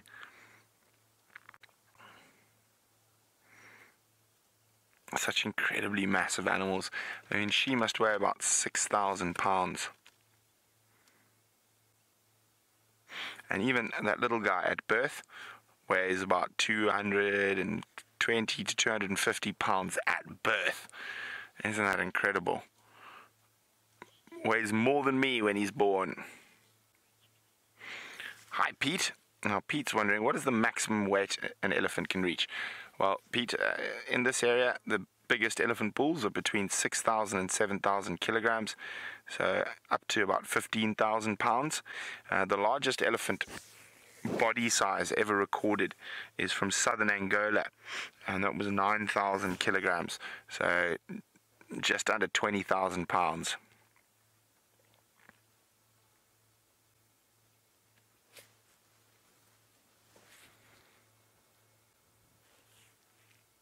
You can see their ears are not flapping incessantly today because it's a nice cool day. So when they're flapping their ears constantly, oh, she's got a hole. Uh, it's generally from the heat and they're pumping all the blood into those ears. Now you can see her ears are folded over there. And if we look, there, you see that, look at that. Oh, disappearing a little bit doesn't like me talking about her ears. So an elephant's ears never stop, or the skin never stops growing. So when they're little, it's taut and tight, and as it keeps growing through their life, uh, you can see that it extends over the, the firm cartilage, and that causes that little flop.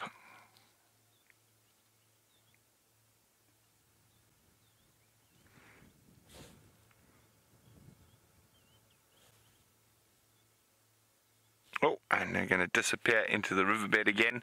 Poor Andrew, he's on his way here. I think he might get lucky. I think they might move slowly and pop out again.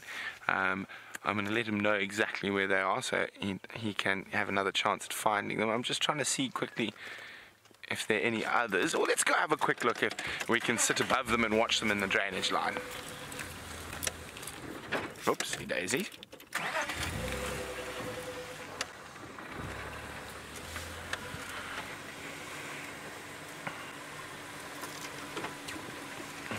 Have a look. There's a way.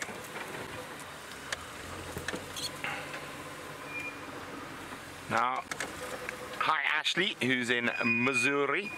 Uh, Ashley's wondering, do elephants get any types of diseases uh, in the bush? And if so, what are they? Uh, they can get lots of different diseases. Uh, most common in the more dry areas like this and, and further north of us that elephants get that they die from isn't so much disease, um, but they, they do contract anthrax quite commonly, uh, only during the dry season though. As soon as it's wet, anthrax goes away. I'm just trying to find a spot to turn around. Uh, so anthrax is probably the most common thing disease. They can get things like brucellosis and things like that, but it's very uncommon.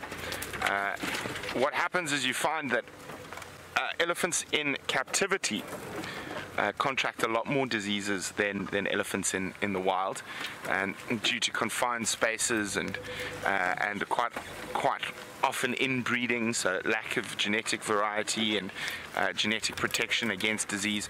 So in the wild, the elephants are not too common, not too common to fall prey to disease, but there's a whole host of diseases. Uh, I'm trying to think of offhand. Um, but we don't really see it too often. Sorry, I just need to be on. Okay. I just need to tell Andrew. Andrew, do you have visual that Mampimpan just went into the Shkova two minutes ago?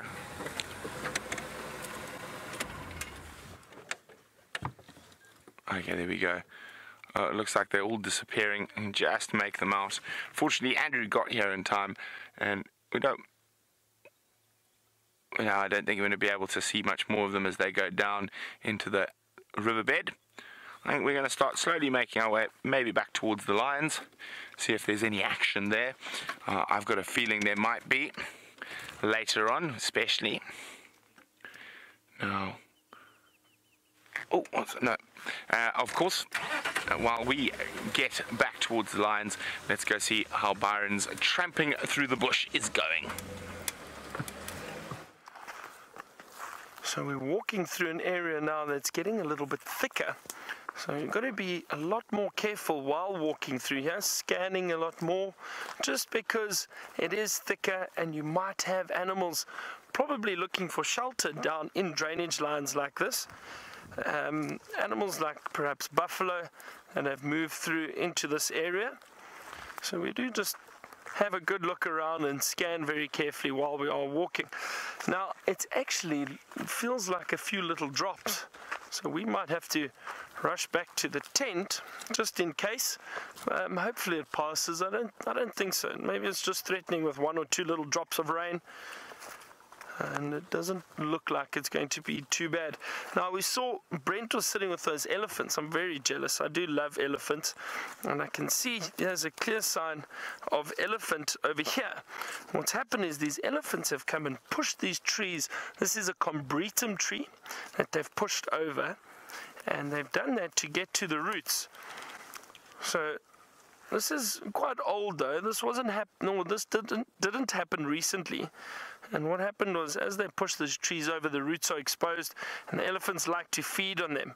The reason for that, there's a lot of nutrients in the roots, so it's a good food source for the animals. But fortunately, these roots stayed anchored in the ground. Even though the tree was pushed over slightly, it's still alive because those roots are still anchored. And you can actually see how green this combretum tree is at the moment. Now, this is a red bush willow. Combretum apiculatum. That's the name, the scientific name of the bush willow. Combretum apiculatum. This this particular tree, Combretum apiculatum, and the reason why, um, or an easy way to remember the scientific name. I'll show you one of the leaves. Oh, let me try look. Here's a nice one. Now this bush willow actually, if you have a look at the tip of that leaf, it's got a very, very sharp little point or a pick. And I think that's where the name apiculatum comes from. It's just easy to help remember the name of the tree. Combretum apiculatum, the red bush willow. They do get wonderful, wonderful seed pods, beautiful seed pods, and hopefully we'll start seeing a few more of them in summer. Um, some of the other combretums, and they, it's like a winged seed pod. I'm trying to see if I can't find one or two here. I doubt we will be able to find any now. Um, but these beautiful winged seed pods. It's like a, the best way to describe it, and maybe I can show you um, just by holding leaves up.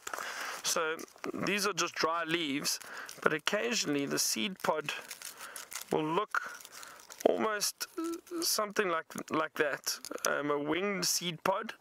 I mean, it, that's the closest I could get to, to making it look like a seed pod, but that's what a seed pod would possibly look like. But it is it has got four wings that spread out.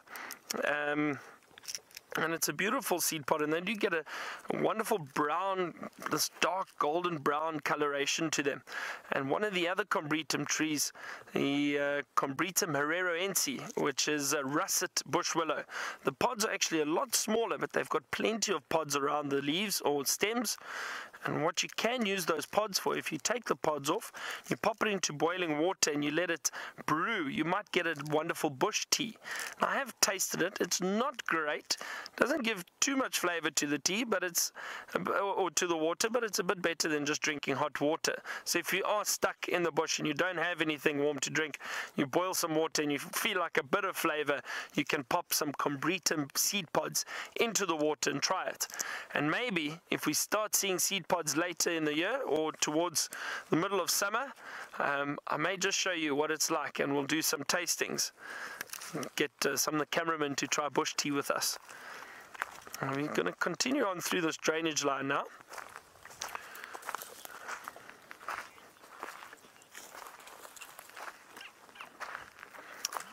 And speaking about all the trees that we have around, Rob, you wanted to know are there any trees in this area, trees or plants that are toxic to some of their herbivores. Now, Rob, there, there's one little flower that we do see in this area, but it flowers in winter, so we're not going to see them now, and it's known as the impala lily.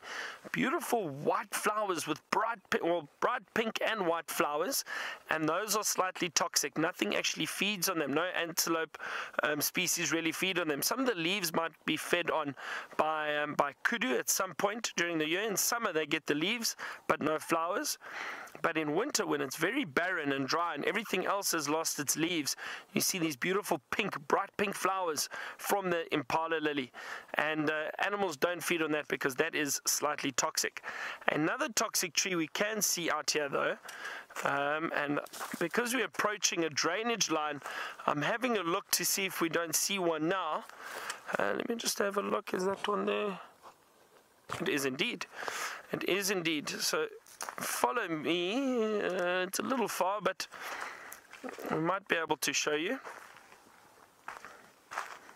And get a little bit closer.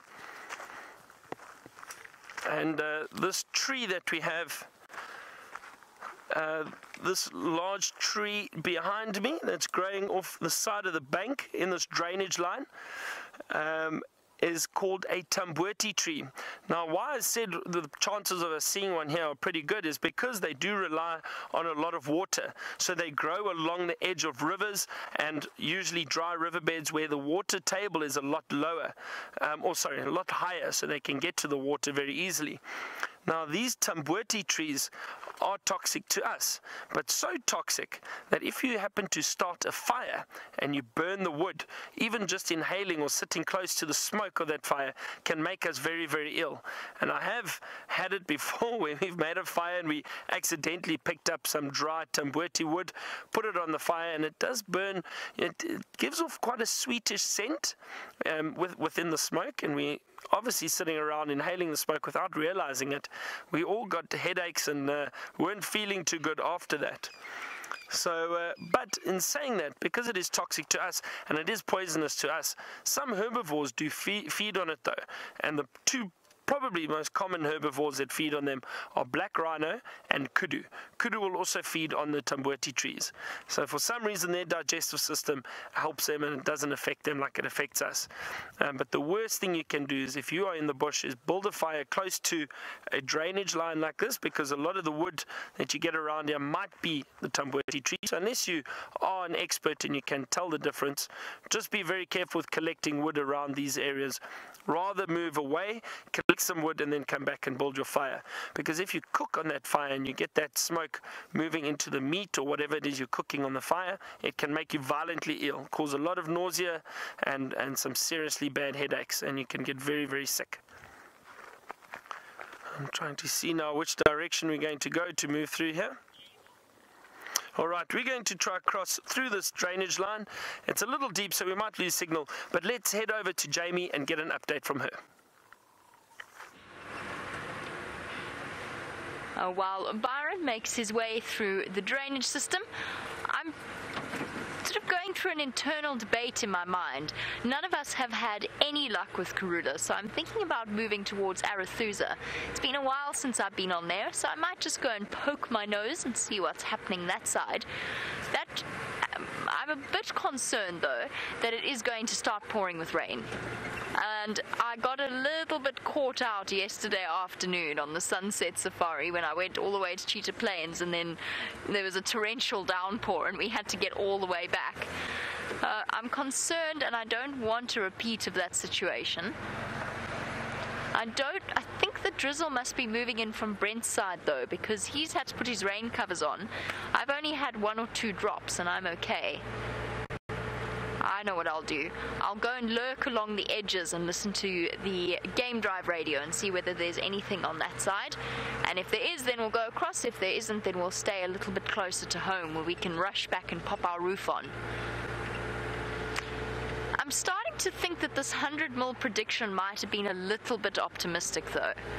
And supposedly it was going to rain 100 mils. This morning we spent time filling up sandbags to help to stop flooding in case it did rain 100 mils in one go because you'll find that a lot of the camps would have flooded.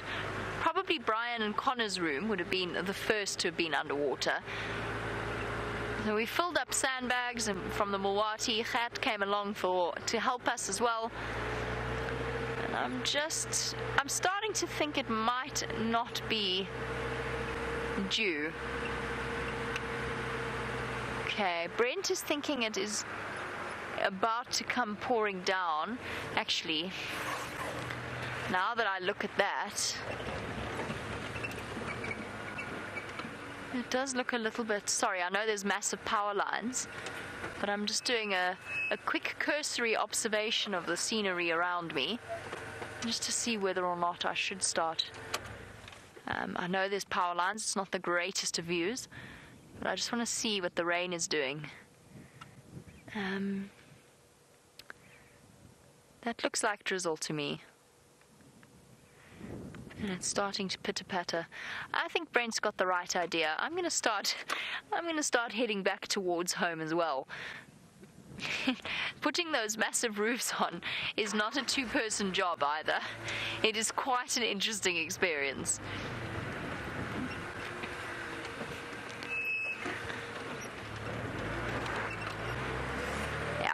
Okay, we'll scrap Arathusa's. We'll scrap going to Arathusa for now, and start at least making sure that we're in the vicinity of camp, so that if it does start to bucket down upon our heads, we are close enough to escape.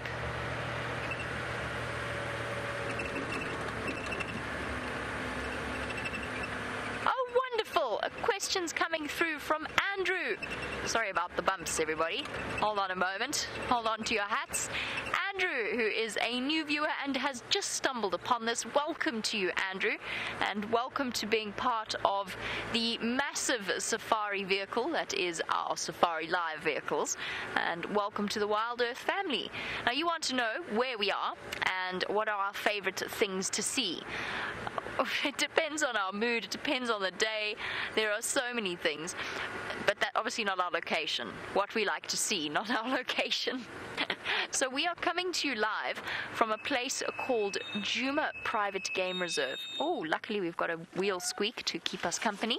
And we're coming to you live from a place called Djuma Private Game Reserve, which is in the Greater Kruger National Park area of South Africa.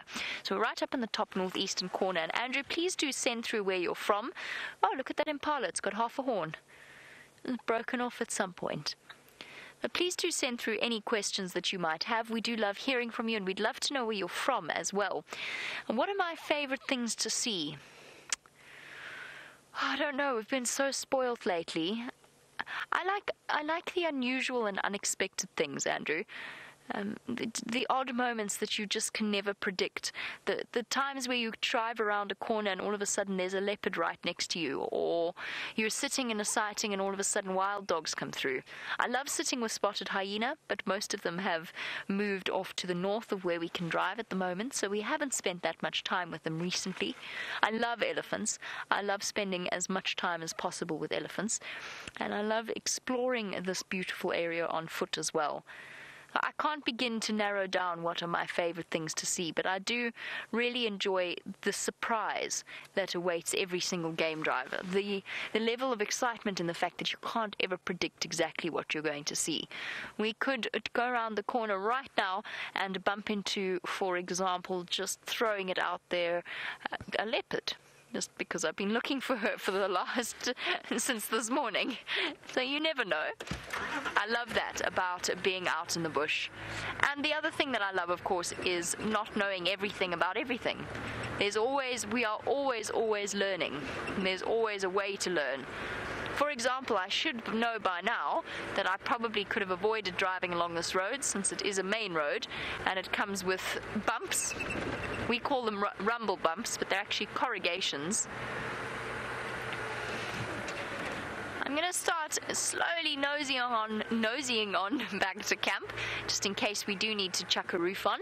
And while I do that, speaking of the bigger cats, let's go back to Brent and his lions.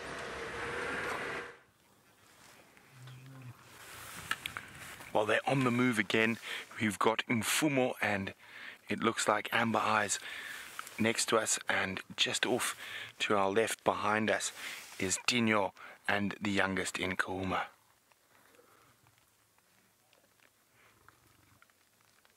Well, we could see some more spectacular action with these big cats.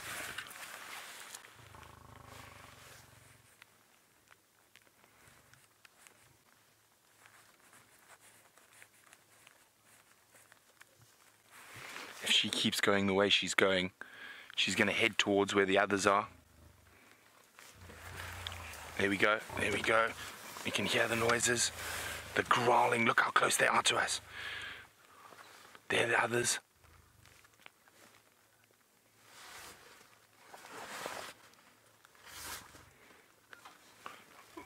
Lots of growling. See how he's trying to keep his body between Tinyo and Amber.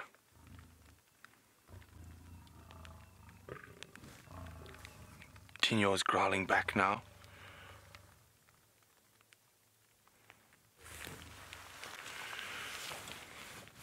Okay, I'm just gonna try. Vim, can you show me where the lines behind us are? So I know where to move. Okay, they're lying down. I'm gonna just move forward a bit so we can get in a position to see both.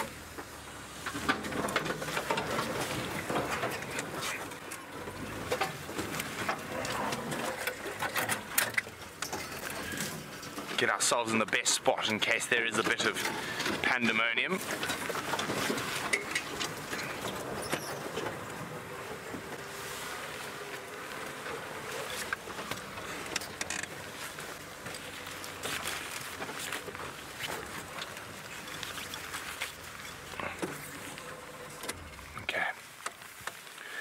go. There's Tinyo and the youngest Nkuhuma. Now, Natasha's wondering how old does a lioness have to be uh, before she starts mating?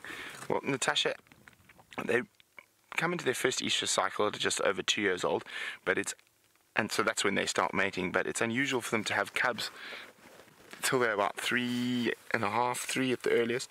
Normally around four.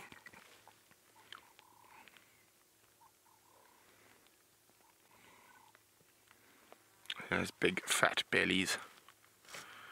Yeah, that the youngest lioness has got those very distinct two little scars now that we see quite clearly there. Three actually, if you look carefully. There's those two, and a little one further to the right.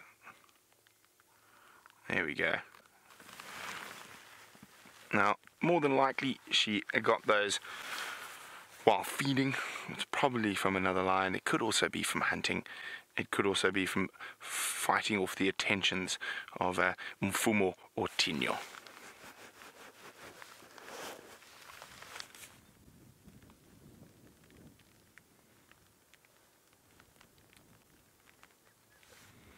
And as you can see, or maybe even here, there's the pitter patter of raindrops are coming, is the great deluge that is predicted for the weekend on its way. Uh, so we've been told there's supposed to be 120 mils uh, on Saturday.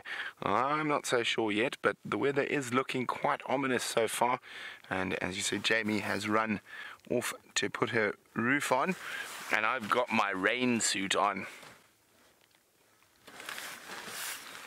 Well, Raisa says she's done some research and says we're only getting 30 to 60, uh, not the great deluge of 120. I'm going to move again, just get in between them. So if anything does happen, we're in the right spot.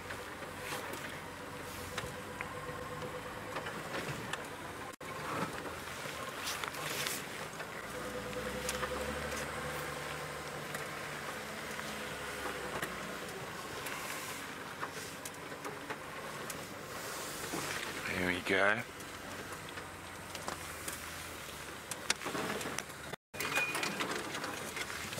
How's that, Vim? And uh, notice how he purposely keeps his body between himself and the other male. And even that in itself is a sign of dominance. And the fact that he's, Mfumo is putting more effort into Amber Eyes than to the youngest female means it's more likely that she is the one who's about to come into estrus.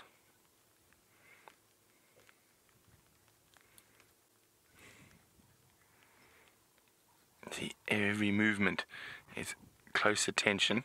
Well, there we go. Some lion kisses. a glance over his shoulder at Tinyo, then making sure his body is blocking her from going that way.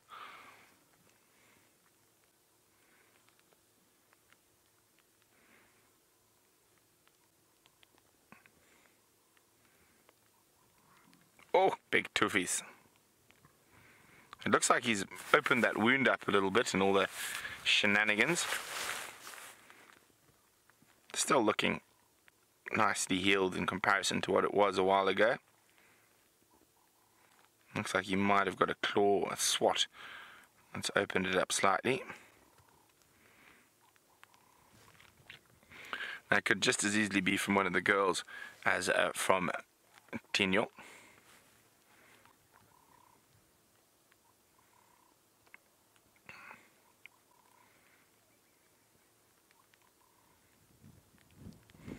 There's our gorgeous amber eyes.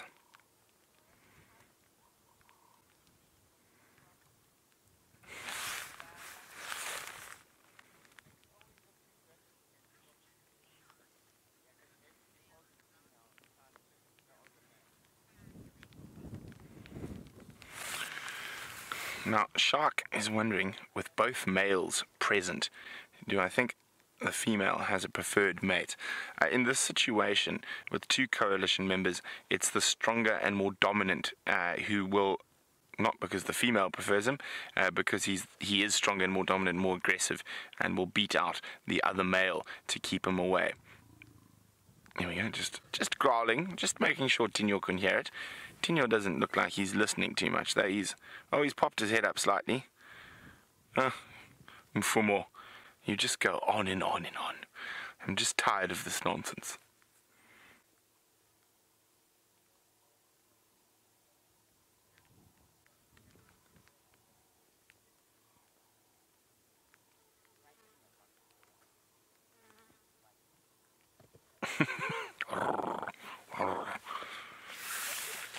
making making his presence well known.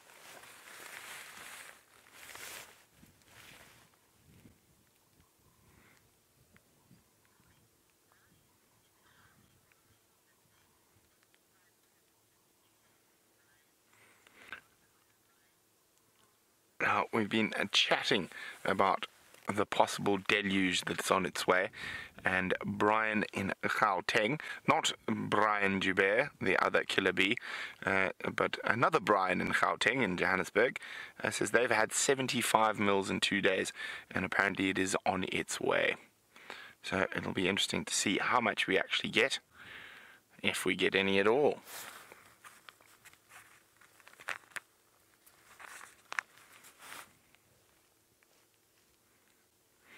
Now, out of these two males, just from watching them as often as we do, I'd say it's very possible that Tinyo is a little bit older, maybe even up to a year older than Mfumo.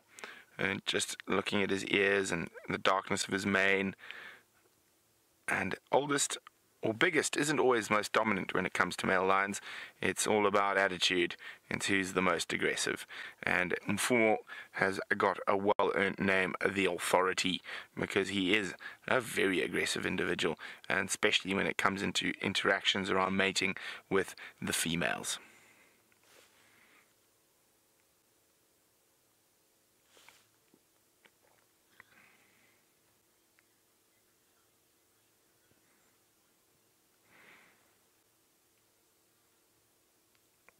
And I definitely think we're not moving um inch.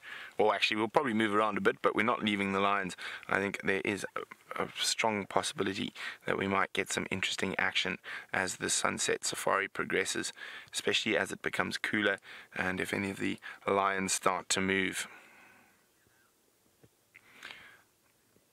Now Pete's wondering do lions mate all year round? They do Pete and um, they estrus cycles are quite regular if they don't actually uh, come into estrus.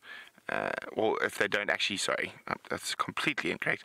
If they don't actually conceive, and uh, and they will mate generally for four or five days at a time, and every sort of 15 minutes for about three or four seconds.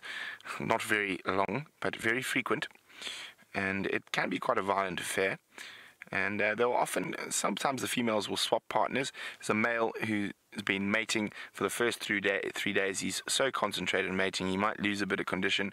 Another male who's fatter fuller happier uh, might come in and be able to push him off. So it is not uncommon for them to mate with, with say for the birmingham boys they're four members of the coalition to mate with all four in a space of five days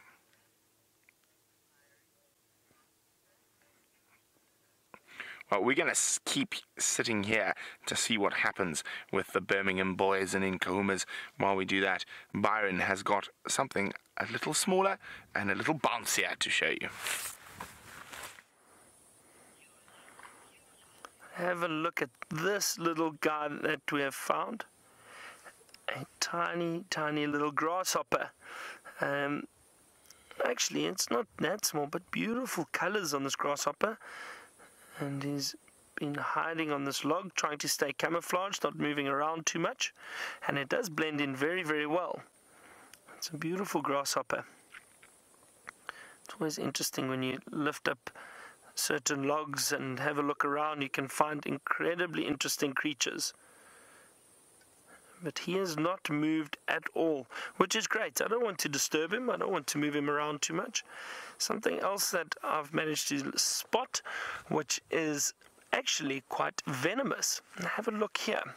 Now there's a violin spider hiding under this log just over there in there and I don't want to touch it in case that spider bites me but these violin spiders are very very venomous and uh, it's hiding in the log. So that's really interesting to see. Nice to spot one of those. And what else have we got here? Um, seems to be it. There's there's one or two baby millipedes, little millipedes, just at the tip of my stick over here, moving around. There's a little one there. There's a lot of activity under these logs, and of course all the termite um, in, uh, movement, and we can see we can see over here. Look at all the termites still on the log, just at the tip of my stick there. You can see them moving around and also packing sand on areas where they've started to eat and feed on the wood. Sammy, you wanted to know have we ever had any issues with ticks while we're on the bushwalk? And yes, indeed. Now, give me a second. I just want to move this log back because I don't want to disturb this little habitat or microhabitat that we found or too much. So I'll just turn it back. This look a lot easier than. Oh, there we go. That's all right. So their home is intact again. So, Sammy, um, definitely, I have had many ticks on bushwalks, and we do have to be careful.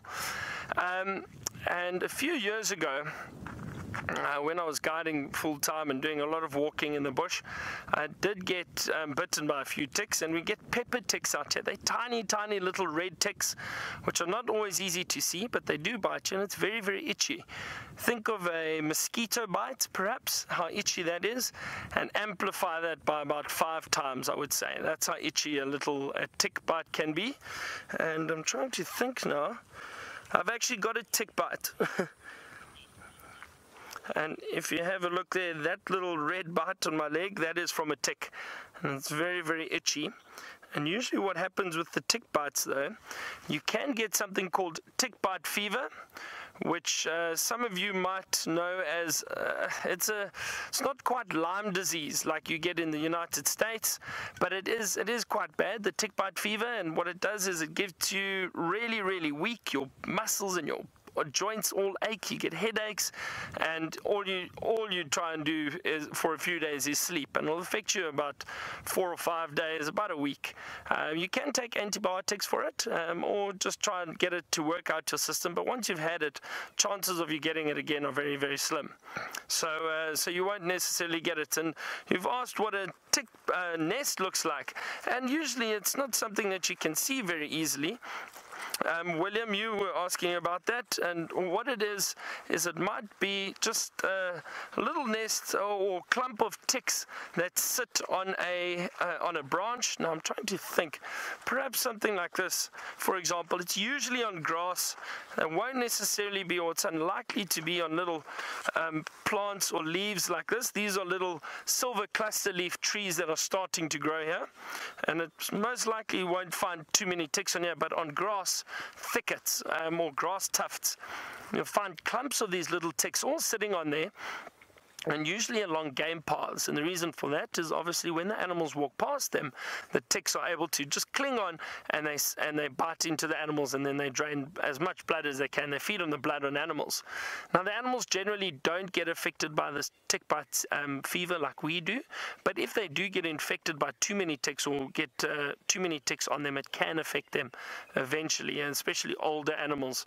But um, usually it's just little clumps of ticks that will sit on grasses or grass grass blades, um, or you might just get one or two sitting on a grass blade waiting for an animal to walk past and they'll try and cling on and bite the host animal. Um, and egg fat, you've asked, what is the point of a tick in the wild? Good question. Now, I mean, every every insect and every animal and every bird species all play a role in the ecosystem. Now, the ticks. I suppose, if anything, if you think about it, they provide food for animals, and especially birds. A lot of birds all feed on the ticks. So, even though they sit and they feed on or they feed off blood on animals and they do sit on animals, birds still feed on the ticks. So they're providing food for bird species and um, perhaps for other insects that might feed on the ticks too. So I suppose the biggest role would probably be food for certain animals or birds, rather. Um, so there is a role for them, but uh, even though they are a parasite, it is still a food source for certain birds. So they, they, they do play a role, even though um, it's not ideal having tick bite fever for us or for them affecting too many animals or sitting on too many animals. It's uh, it's hectic.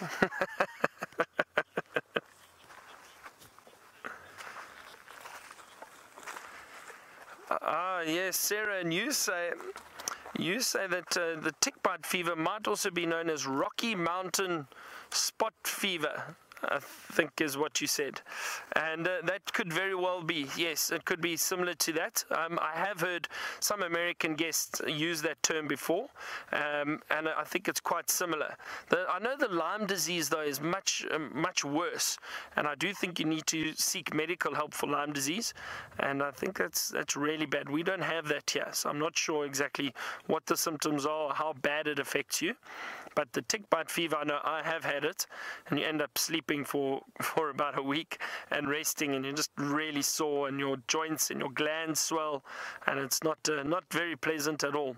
But um, but it's an excuse to sleep for a week. So if you if you need to take a week off work, perhaps just say, look, you went to Africa, you got tick bite fever, and you're down for a week. And so no one can no one can argue with that.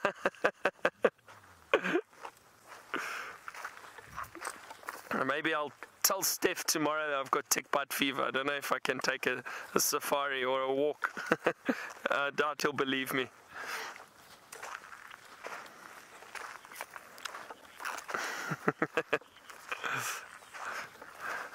All right, it sounds like uh, Jamie was a little worried about the rain. I'm not sure if it is going to rain, but she's got a roof on. Let's head to her and see where she's heading.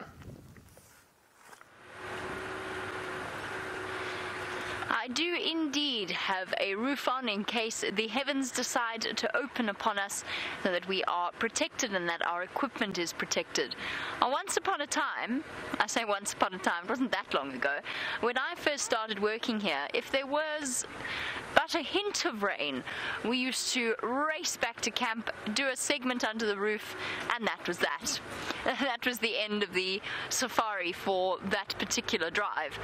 And now we've got to the stage where we've got a roof over our heads, quite literally. It does mean that if wild dogs come through, things might get a little bit interesting. And it does mean the odd, some very strange contorting of oneself to try and get it on. But once it's on, if the heavens do open, we have got protection. We can essentially roll down all of the sides if we need to, including the front, which hopefully we won't need to do, because then I definitely can't drive anywhere. And that's that. We can continue on as if nothing had changed, admittedly with just the pitter patter of the rain upon the roof.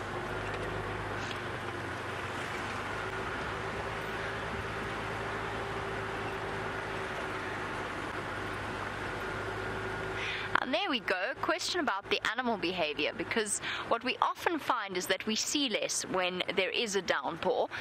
And driving, you want to know, while I drive along, driving, you want to know what happens to the animal's behavior when the rain comes down. Do they hide? Do they run for cover? Do they still hunt? It depends very much on the animal that we're talking about. So if we're talking about the general game, so potential prey species for the predator, impala, um, zebra, whatever they may be, they tend to try and shelter. If it's during the day, they'll try and shelter. Often you'll find if it's a windy day with rain that they'll go and they'll lie down just to reduce the surface area that's exposed to the wind and just to drop down for a little bit of shelter. But if it's now, as we're going into the evening, you'll see that a lot of the herd animals, things like impala, wildebeest, are going to start moving towards the more open areas of the reserve because they feel incredibly threatened on nights like tonight is going to be. It's dark, it's cloudy, it's windy, they can't see anything, they can't hear, they can't smell because of the rain, and as a result, it is a perfect hunting weather for predators. So, for our big cats that are nocturnal hunters, they will be out and about straight away as soon as it gets dark, except maybe for the Nkuhumas who've got a meal and a full, relatively foolish bellies, although they could still go out and hunt. And the leopards will be exception. You'll find that there'll be more, a much higher success rate on nights like tonight. But for the diurnal predators, for cheetah and wild dog, during the day, if it's weather like this, they will definitely be hunting. But at night, they definitely won't be. Whereas if it's a nice, clear, crisp, full moon night, they might be moving about more than they would otherwise. So it very much depends upon the animals.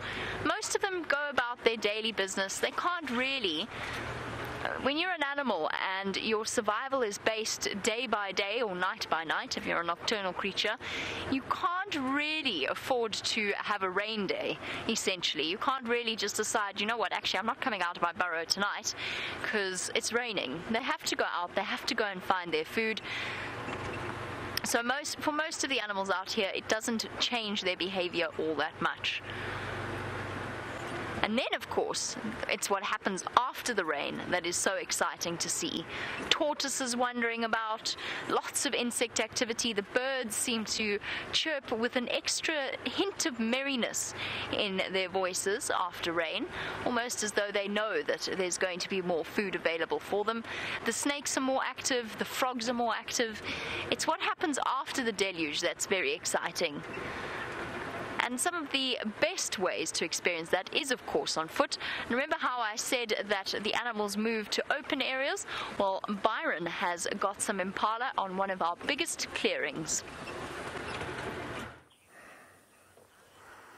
That's right, Jamie. 100% right. And as you mentioned, the impala moving out to the clearings when it starts getting dark.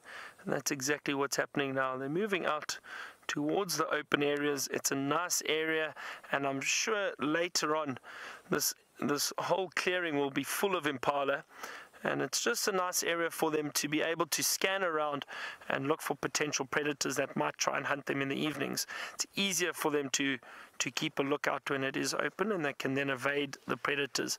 There's nowhere for the predators to hide and ambush them. And in the evenings, the predators that they would have to look out for are the lions and leopard. So out here, they are quite safe and um, and I'm sure, and as we saw this morning on our bushwalk, we did see some blood remains um, on these clearings, and I think that was from impala births. So because it's lambing season, it's easier for the the females to give birth out here, and they are able to keep a lookout for the, the few minutes they need before the little lamb is able to stand up and move around with them. So it's quite safe out here, and that's why they choose these areas. Yeah. Very, very nice. And they seem quite relaxed at the moment, even with us being on foot. And it's because we're at uh, quite a distance away from them. So um, they do feel comfortable. We're not posing a threat to any of them. But just as they've come out onto the clearings for uh, for the evening, for the for safety of darkness, under the darkness, we're going to do the same though. We're going to head back to camp. We're not too far. Hope you've enjoyed the bush walk with us.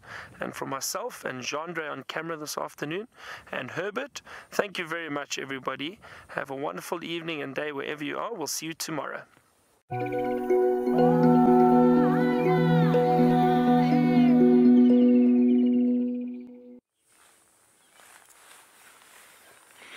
Welcome back to the Nkuhumas.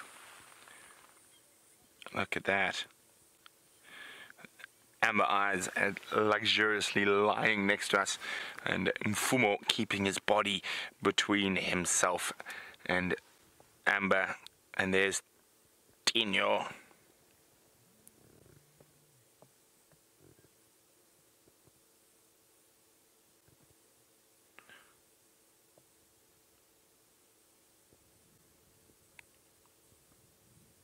And there we go. That's the youngest lioness, and Tinyo.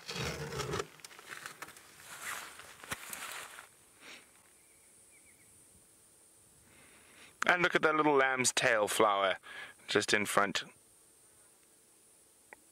of them. There we go. Some wild flowers and some wild lions. Okay, well, everything seems to have calmed down amongst these four. So I heard some growling back at the buffalo carcass. So let's go have a look. Well, it looks like the rain started coming and then left us, but uh, we are, as you can see, prepared for the wet weather just in case.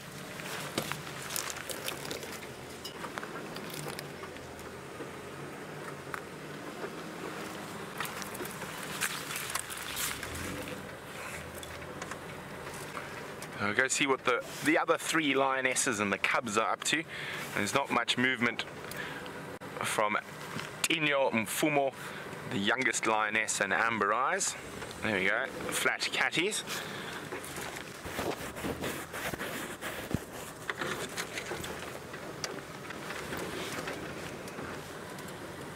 I did hear some growling, so maybe the cubs are still on the carcass.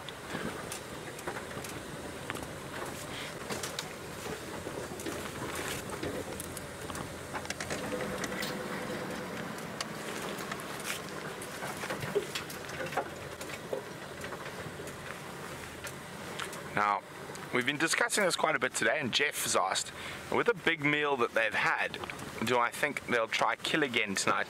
I think there's a very strong possibility, Jeff. Uh, that big meal was made considerably smaller by the two Birminghams being here. I mean, there we go, carcass is done. There's not almost nothing left for the lions on that. I mean, you can just see almost absolutely zero there. They have even chewed down the ribs. Look at that.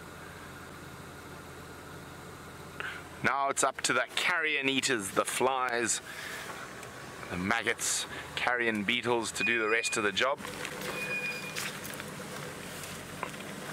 And here we go. I got one, two, three lionesses. One, two, three, four, five cubs, but I'm sure the others are around, or I just can't see them from here.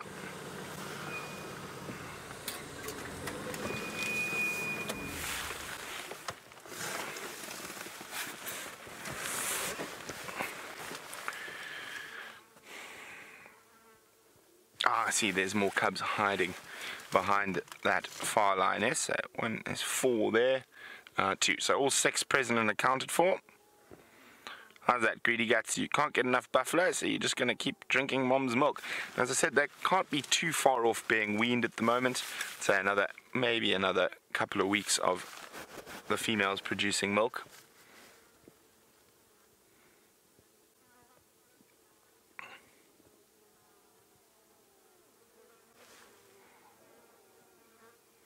Oh, stretching. As I said, yeah, I think there's a good chance they might, might try hunt again tonight. It's ideal weather, dark skies, uh, possibility of some rain and wind, making their hunting a little bit easier. Put those canines to use, ladies.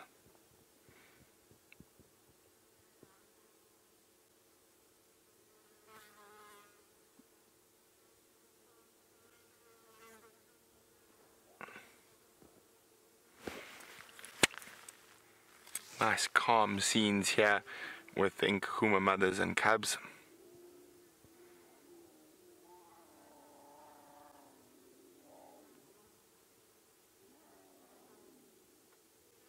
Talking, talking. Mom, mom, I'm bored. Oh, I just love it when they stretch. Hopefully she does a nice one. See how incredibly supple their bones are. Oh, not their bones, their bodies. Oh, just step over. Maybe she's going to try and see if she can get anything out of that carcass. I said, I don't think there's too much left there.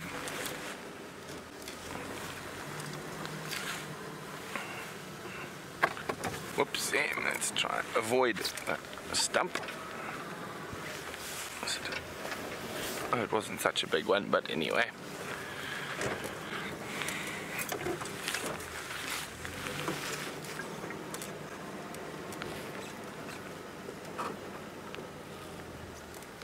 Oh, look at that. There's about to be a cub pile by the looks of things on the one lioness.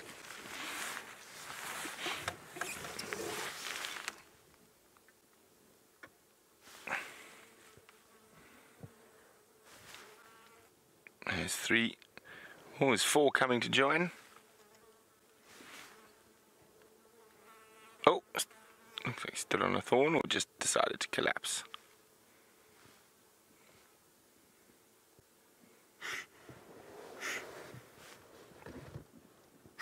Oh, bless you.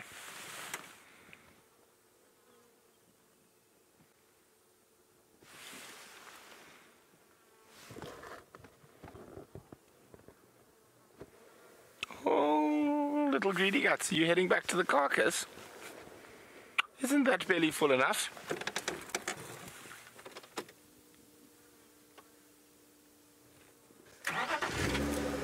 Let's go see what the female's reaction's going to be.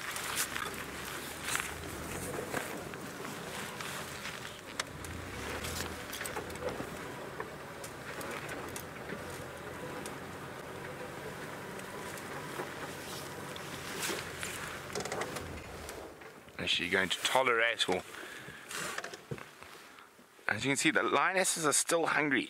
And they didn't get as much as the carcass because of the two males. The males will accept the cubs feeding while they're there, but generally not accept the lionesses too easily.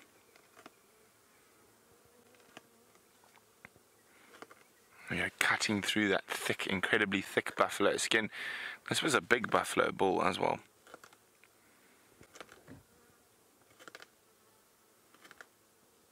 That noise is not bone, that's cutting through that thick, thick skin.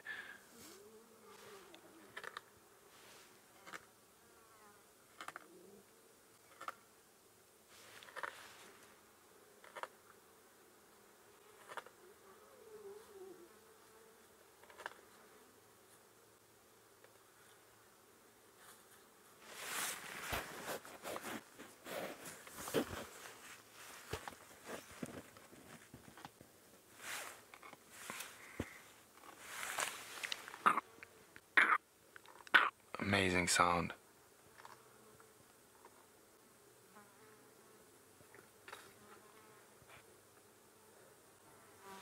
You can see how she turns her head to the side using those premolars like a big powerful pair of scissors.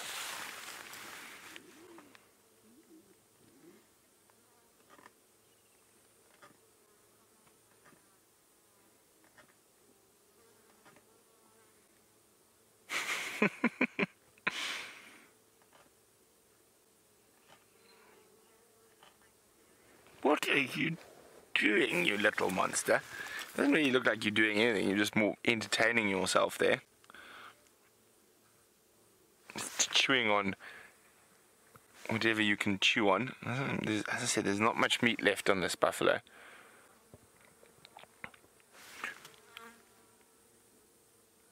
Maybe his little teeth can get into spots the big ones can't.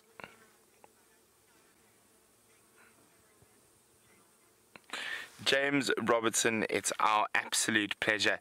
James says, This channel makes my life so happy. Thank you, everyone. Well, thank you, James, for watching. It's our absolute privilege and pleasure to share the wonders of Africa with you. Well, here comes another monster on its way in. Now, the cub might not be as tolerant of another cub as mom is of them.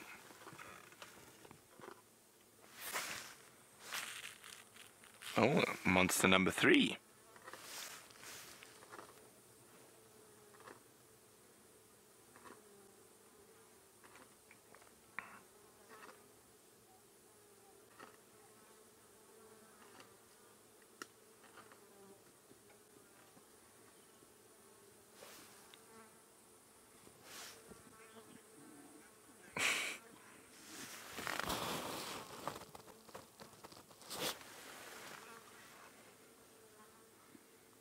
Now, one stoner, two cats would like to know, could it be that the cubs are teething?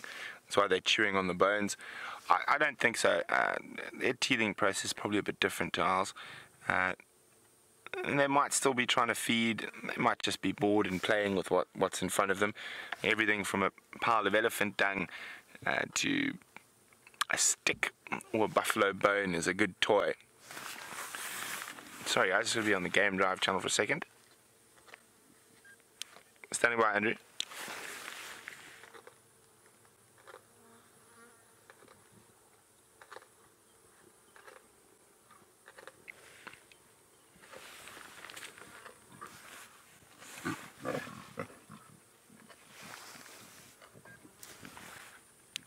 Copy. Thanks very much, Andrew. I'm Kashan.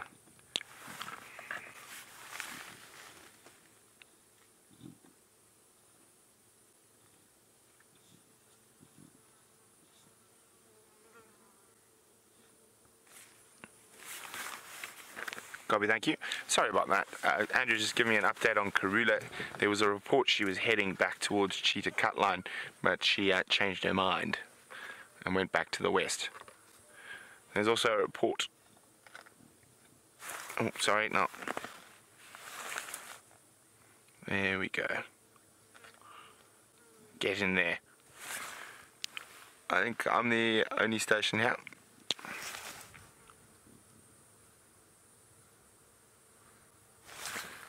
FM, make your way. Sorry about that, the radio got very busy all of a sudden. There we go. There's definitely going to be almost nothing left tomorrow morning, and it's going to be interesting to see whether they head back deeper into Djuma or they leave us and go to the east into Torchwood where they haven't been for a very long time.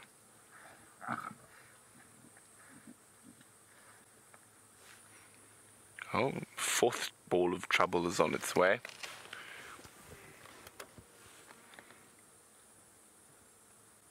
Look at that belly. How are you going to put anything more in there?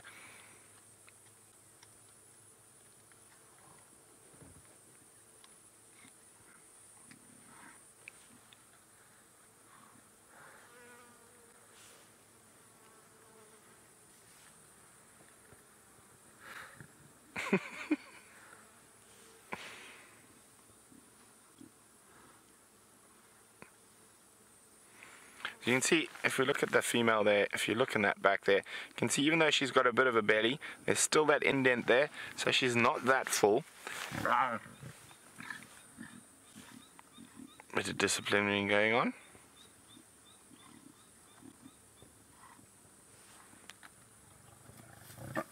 Nope, disciplining again. It was fine when there was one cub, but now four might be just too many.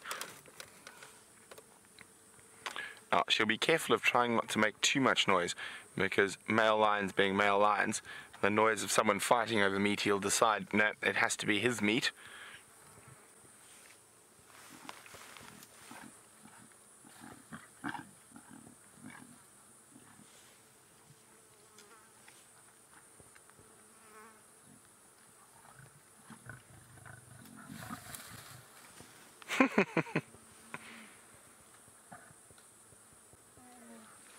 Cubs being dispersed.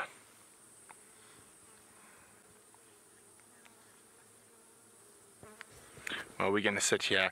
We're probably going to move away from the Cubs as it's getting quite dark and go sit with the others that are about 100 meters away and we can put lights on them, the Birmingham boys and the two lionesses. So while we do that, let's go and see what Jamie's up to. I've come racing across to the southern boundary of Djuma once again um, because I heard a report that a Karula was crossing um, to the north. How she got to the south, I don't know. So I'm not sure what he's. Uh, I thought he was trying to tell me something, but he's not. Just a vehicle on their way to drop off some probably very excited guests. I raced across, and I've just heard on the Game Drive channel, which is the way that we communicate with other guides, that she is not coming north anymore. so I think for this afternoon, or for today at least, I'm going to pack in the search for the Queen of Djuma. I don't know how she got south. She must have been, she must have crossed a little bit further to the east of where we all checked. I don't know how she managed that though. And so we're back on the southern boundary of Djuma once again.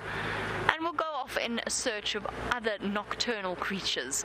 Now, there's been a report that wild dogs have come crossing onto Djuma. Unfortunately, they are I got the report as I arrived on the opposite side of, of Djuma to get to Karula, who then uh, decided not to come that side. And it's a little bit too far for us now that it is so dark. By the time we get there, it's going to be dark and we won't be able to view the wild dogs because they are diurnal animals. But that's something to look forward to for the morning. Hopefully, they stay around Djuma. They're not going to be traveling too far on a windy, cold, dark night. I'm hoping they decide to go to sleep there. But what I'm going to do is turn around and go back the other way. I've had a change of heart. I'm going back in the opposite direction.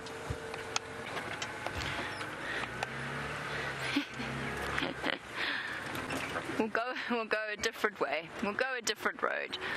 I was going to try and get towards Sydney's Dam, but ah, the rain is here as well. Good thing we have our roof on as the drizzle starts. I'm thinking about trying to look for our hyenas again, since we didn't have any luck with Karula today, but we did strike it lucky with hyenas last night, and perhaps we'll find that they follow the same path. And thank you to all of those of you who sent through that the one hyena you could clearly identify as pretty. For those of you that know and love our hyena clan, you'll remember Pretty. She was the mother of November. Was she? Yes, she was. It was Pretty was the mother of November, and then it was Corky was the December twins' mother, and then Madam was the mother of the January twins hope you're all taking notes.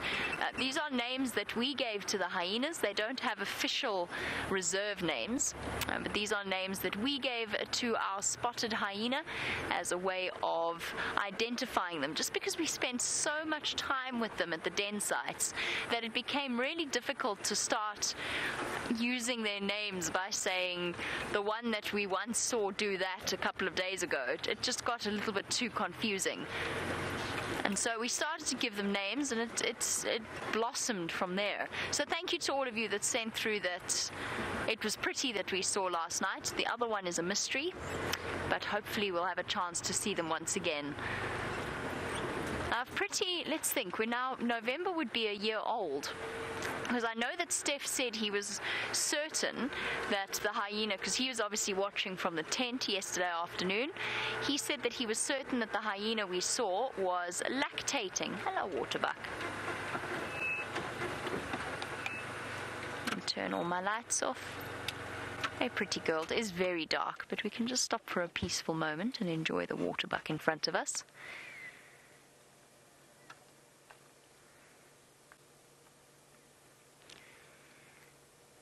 This massive herd. What did we did we ever come to a conclusion as to our collective noun for waterbuck? I don't think we did. I think you, you all provided just too many good options for what we should call a group of waterbuck rather than calling them a herd, which seems a little bit generic for such a unique animal.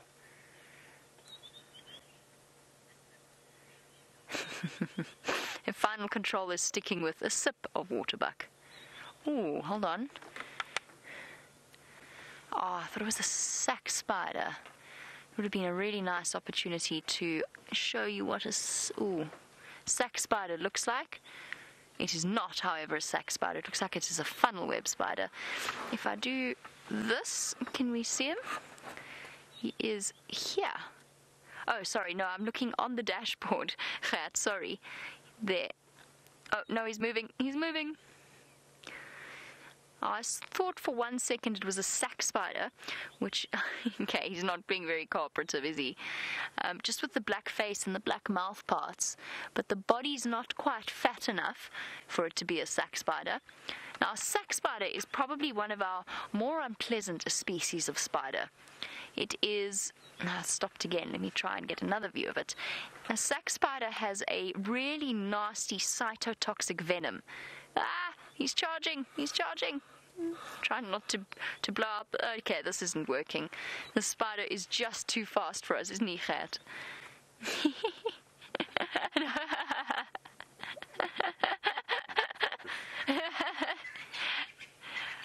oh, he's making your life very difficult. There we go. I think it's currently occupied building a web across the front of the vehicle. There we go. Well done. No. And back to us we go. Okay. I think we'll we'll give up on the spider for now. I don't want to try and catch it because that doesn't really I don't, I don't I prefer not to handle things like delicate spiders like that. It all it does is it upsets them and they end up injuring themselves. So I prefer not to catch them. Initially it was a cytotoxic spider, um, which is uh, the, the, species I thought it was was a sac spider. Now, a sac spider I would not be catching with my hands. They're aggressive little spiders. They're fat, they're pale in color, and they've got black legs and they once you get bitten by them you don't feel it initially but after a couple of hours it starts to itch and after a couple of days you've got a really nasty weeping sore. Because cytotoxic of course is a cell destroying venom that they produce. So you get this really horrible infection. And I know a few people who have wound up with such serious secondary infections that they've had to go and spend a few nights in the hospital. And it almost invariably leaves a scar and leaves a big dent where the bite site was. Now that's one of our nastiest spiders, but I thought it might be nice to show you so you'd know if you come and visit here how to recognize a sac spider if you see one. Sac spiders and violin spiders, the two spiders that have the nastiest cytotoxic venom out here. Fortunately, it's relatively rare. I've never been bitten by one. I know that Steph has. You've, have you been bitten, Kat? Violin spider. Where? Side. Hmm. Did it get infected? Was it bad or was it it's just all like that. Just a hole? Kat says it was a hole about this big that it left behind. Now they can be uncomfortable and quite are it's a bite that needs medical attention it, as soon as you start to feel it you need to go to the doctor and they can start deciding how they're going to treat it if they're going to put you what antibiotics they're going to put you on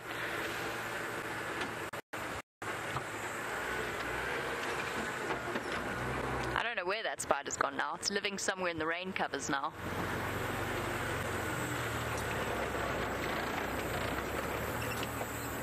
Oh. Right, let's head over to Brent and see what he's up to.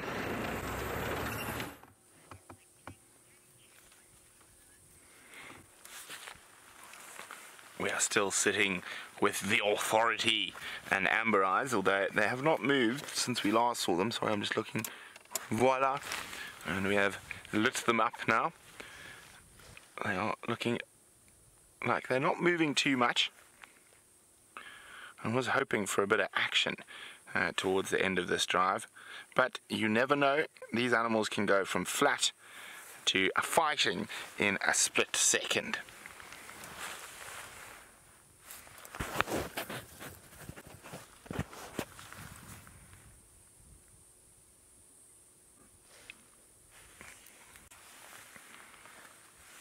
Can see uh, not too many fresh scars on the authority's face, although that wound has opened up.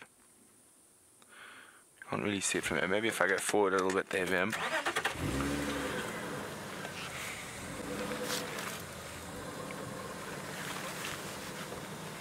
Okay, I'll move the light and just lean over, change the angle of the light, and take my earpiece out to do that quickly. How's that, Vim? There we go. Okay, there we go. You can see now he's probably been scrapping with old Tinyo down the drag there, and he might have got a claw. Could have just as easily been from one of the females.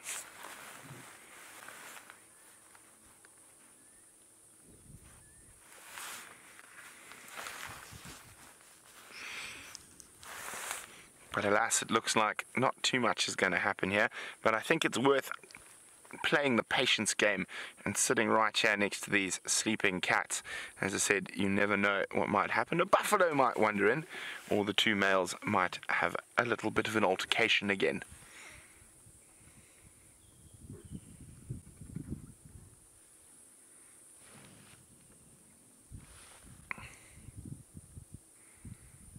Remember, this is 100% live from the African bush.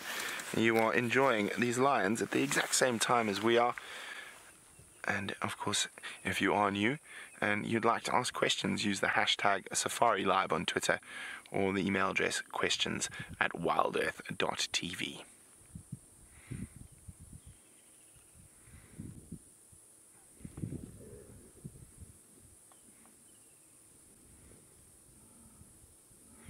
can hear the little cubs growling at each other on the buffalo carcass in the distance.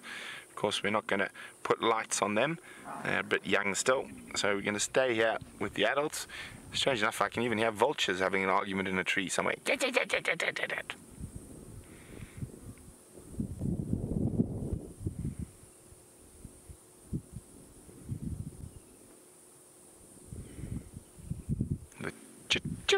Of a woodlands kingfisher in the distance.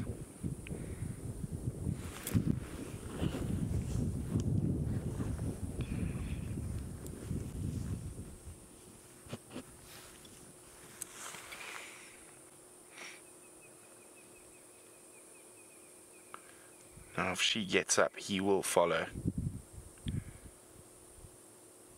Amber, what did you hear? Did you hear the approach of a buffalo? Oh, you're gonna go back to sleep. No, back to sleep.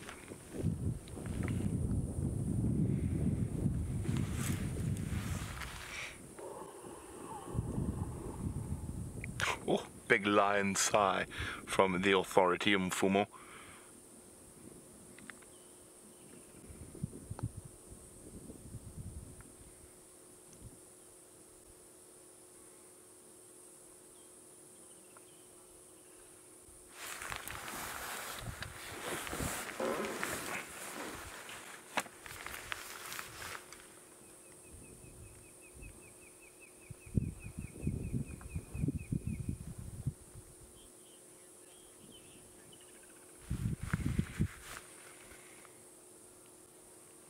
Now, I'm sure most of you out there know this, but oh, let's do a little quiz. Uh, see if everyone's still awake. Uh, it's a bit of an easy one, but let's see how it goes. Uh, who out there knows what a lion's gestation period is? What is a lioness's gestation period? If you know the answer to that, hashtag Safari Live or questions at wildearth.tv. Let me know if you know what a lioness's gestation period is.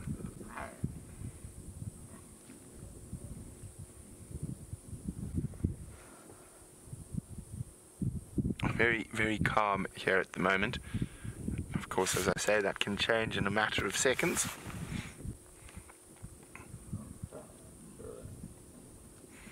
I'm really hoping that old Amber Eyes has cubs quite soon.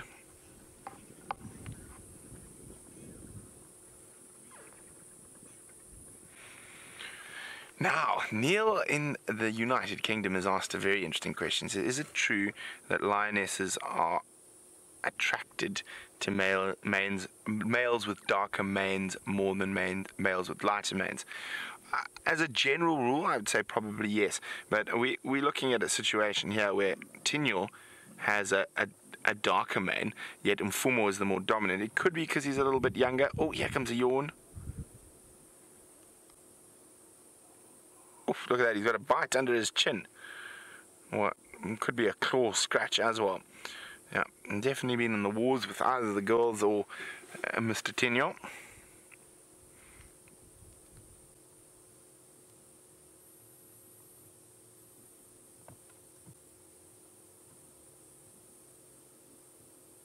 Now, there's been quite a lot of uh, research done. generally, ma males with darker manes tend to have higher testosterone levels, but uh, it isn't always a, a, fixed rule. But as a general rule, it seems to be that females have a preference for male manes with darker manes. Males with darker manes. I don't know why I'm getting those all confuddled today. Uh, but his mane is darkening quite quite quickly. Uh, if you think about how much these boys have grown in just over a year. It's absolutely incredible.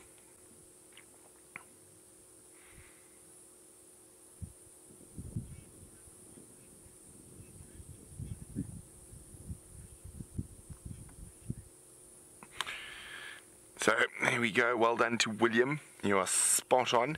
James, and who's a new viewer, James Robertson. Unfortunately, you're a bit long lived, but that's why you're here, and we can all learn together. Uh, William is correct. It's three months or 90 to 110 days is the average gestation for the African lion, and uh, it is an amazingly short gestation period for a big animal. Uh, it's short, shorter than impala and uh, the other antelope species. Now, the reason for this is there is such a high mortality rate amongst the lions. 70% of all cubs born in this area will not make it to adulthood. Now, there biggest killer of lion cubs is actually male lions. Uh, generally, not the coalition members if they're nomadic males coming through, uh, and even sometimes their own coalition members, like these guys, around a, a kill, they get into a spat with each other or a female. A cub accidentally gets whacked and breaks a back, and so male lions are generally the biggest killers of lion cubs.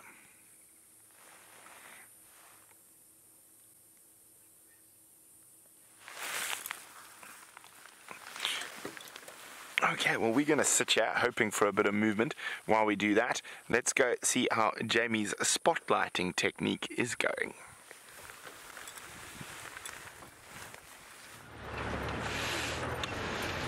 To think I have a fantastic spotlighting technique. I mean, with this roof, I can't do my usual that James used to tease me about for for a very long time, for a very long time, about my spotlighting technique. And in fact, it's actually quite comfortable, just resting my elbow on the side of the door and searching and scanning for all sorts of nocturnal surprises. Something like a chameleon, perhaps, or even a serval. I've got high hopes for this evening because the nocturnal creatures might decide to come out a little bit earlier. Now, speaking of nocturnal creatures, one of the things I'm looking for is snakes in the road. Now, we've already discussed some of our venomous spiders. So, Lois in Buffalo, you wanted to know about whether or not we keep anti venom on site or if it is something that we have to go into town for. Anti venom is particularly snake anti venom. There's only really one spider anti venom, and that's for the recluse spiders, the brown and the black recluse, uh, the equivalent of the black widow, the brown widow that we get here, they have neurotoxic venom. That's the only spider that has anti-venom for its bite. There are, however, there is, however, anti-venom for snake bites, but it is exceptionally, exceptionally strictly controlled. Um, there only are certain places that stock it, and actually, the the current thinking and the current medical treatment is leaning away from using anti-venom unless it is an absolute last resort, and that's because people tend to view it as a magical cure, and it's not really.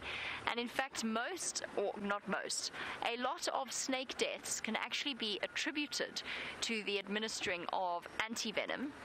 Sorry. Let me just turn off all my lights.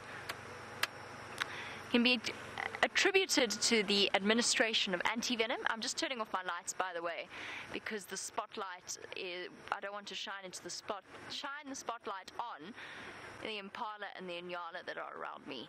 It just damages, not damages permanently, but it takes away their ability temporarily to see in the dark. And obviously, with all of these pregnant ewes around, it's not something we want to do at all.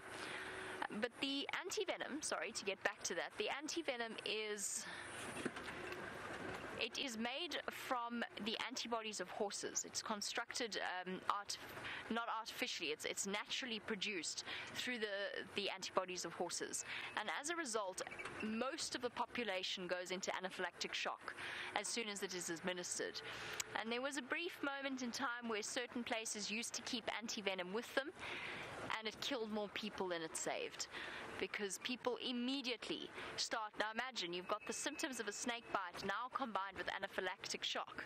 You can't breathe, you can't speak, you're, and you've already got the neurotoxic effects of snake venom flooding through your body.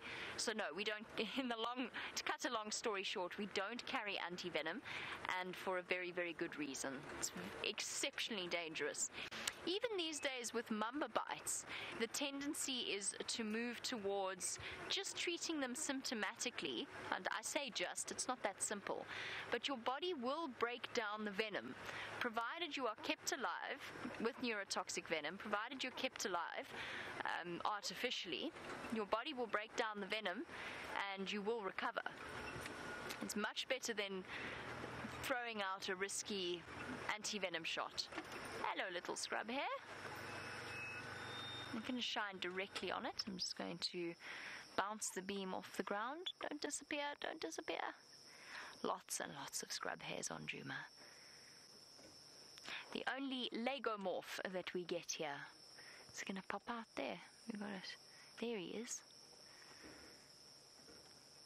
Let's go forward a little bit. Hopefully, it will give us a slightly clearer view.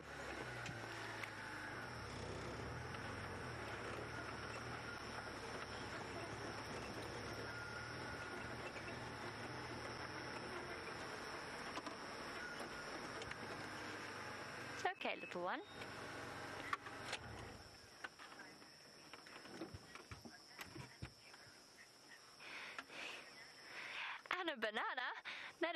Fantastic username, Anna Banana. Thank you for adding a little bit of a, a bright spark to what has been a lovely day. While we watch our scrub hare bound along, Anna Banana would like to know what research as is done at the Djuma Research Camp.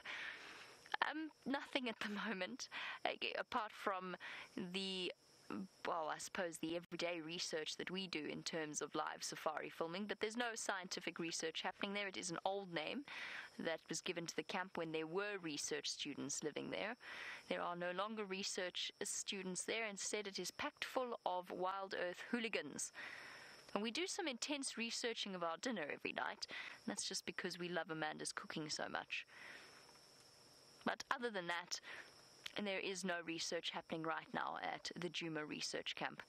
And we always refer to it. Uh, you raise a very good point because we often throw out the names of where we live without really giving an explanation as to why they're called that. And I wonder, I do wonder how many first time Safari Live watchers have heard us talking about the DRC and wondering how on earth we managed to commute from the Democratic Republic of Congo every day all the way to South Africa and then back again.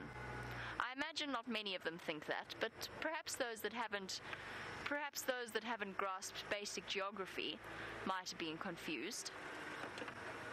Oh, I'm just going to take off all my lights.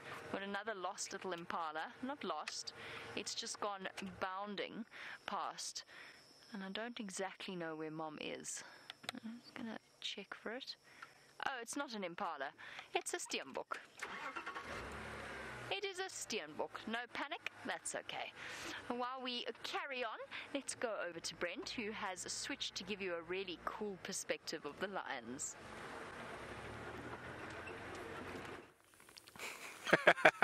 uh, well, we were playing with the IR. Uh, we've switched back to normal light because, of course, we're not with the Cubs. And Amber just sat up slightly, but old Mr. Authority Mfumo is still very much a flat cat. And you can see the rain is starting to to fall. Could this be the beginning of the deluge that is on its way? Uh, we have sandbagged the DRC. We have sandbagged the tent. So Jamie, Byron, Hat and myself uh, spent after morning drive filling sandbags in preparation for this great deluge of rain that is supposed to be coming over the weekend. But don't worry, we'll still be here.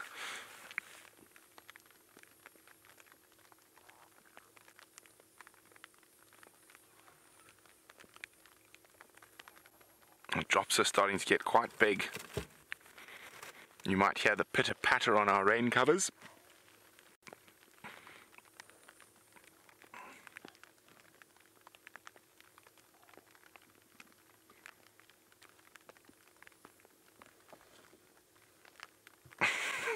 He's using the side of the road as a very comfortable pillow there is the authority. Now, I think these lions might hunt again tonight with this weather. It's a great opportunity to be able to stalk up without smell and sound being very noticeable and due to this pitter patter of rain uh, will be softening the sounds of the lion's stalk as well as their smell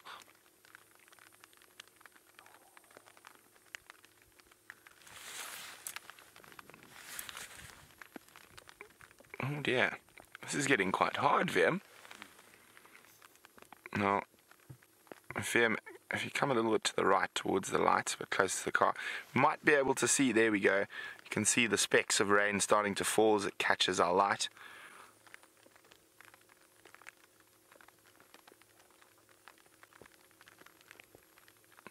Vim, are we going to run for it? No, we're waterproof. VM's comfortable, we're waterproof enough. I've been sitting here considering whether to make a run for home before it gets too wet. VM's confident in our waterproofing of the vehicles though, and uh, VM is our technical expert on the vehicle. I, I think I should probably stick to the lines. And they're sleeping, in case anyone was wondering. You hear that?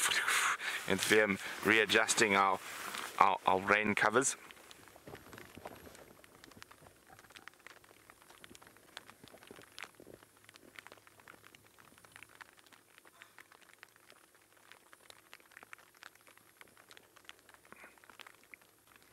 Light rain like this is not going to send them hiding for the cover.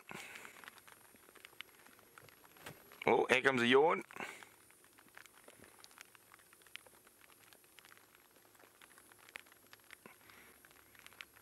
Now, Paul's saying, uh, do I think most animals made it through the drought better than expected?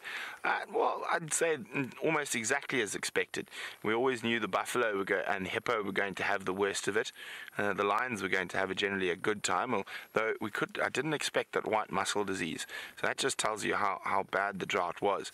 But on average, I'd say most animals made it through pretty much as expected uh, through uh, the worst drought in about 100 years. But after drought is now time for rain, and apparently it's all coming in one weekend, and that's this weekend.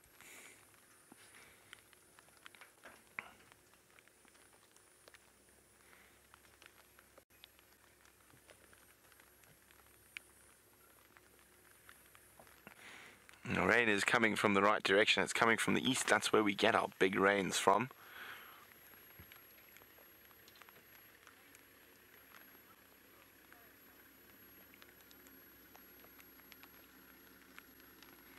It's hard to believe the massive violence that these cats are capable of in a few split seconds when you watch them dozing like this. Look at his little paw, cockeyed there. I was actually hoping that they might start roaring, but it seems like the bellies are too full of buffalo.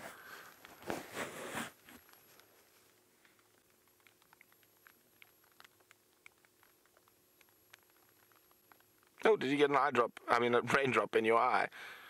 A little blink there.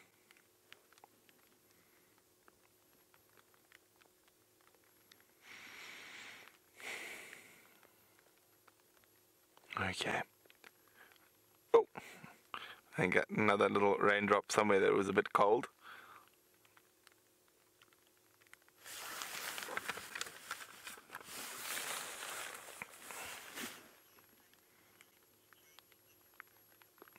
Uh, so before the deluge descends upon us here, we're right on the eastern boundary of Djuma. We're going to start making our way back towards the DRC. It's been absolutely splendid having you with us. Some wonderful sightings of that baby Ellie, the lions, and baby Impala with Jamie, and lots of wonderful little things with Byron. So from VM and myself, adieu, and we'll see you in the morning.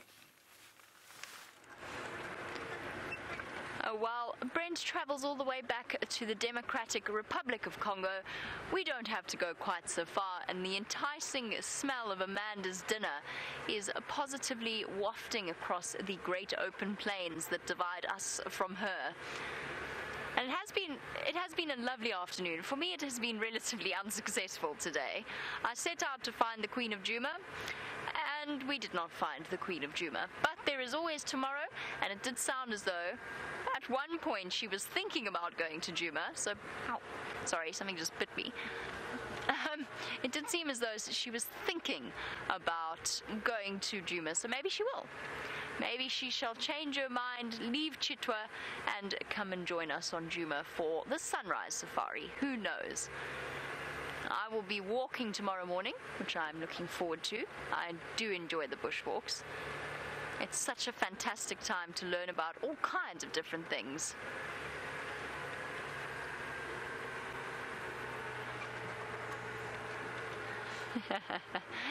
Sarah, I would be lying if I said the thought hadn't crossed my mind. Sarah says, "Would she? Is she the only one that thinks that perhaps Karula might be enjoying this game of hide and seek, and that she loves watching the show?" Sarah, that is, not Karula. Oh, maybe Karula would enjoy watching the show. I don't know. Probably not. Um, I have I have to have a good chuckle because yesterday Byron was desperately looking for her, and then as we finished the show, as Rebecca said, and drivers wrapped, you are off air. I look to my right and there's a leopard.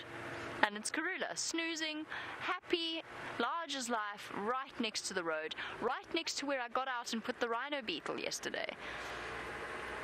I think honestly what it really is is that she's just got so much providing to do for her cubs that she's doing a lot of moving around. She always has moved around a lot, but now even more so to try and fill three hungry bellies as opposed to just her own. But the thought had crossed my mind. I'm, I'm still not entirely convinced that she doesn't sometimes walk backwards just for fun. Just to keep us thoroughly entertained. Oh, the rain's just hit us. We are going to start making our way home because it is starting to rain heavily.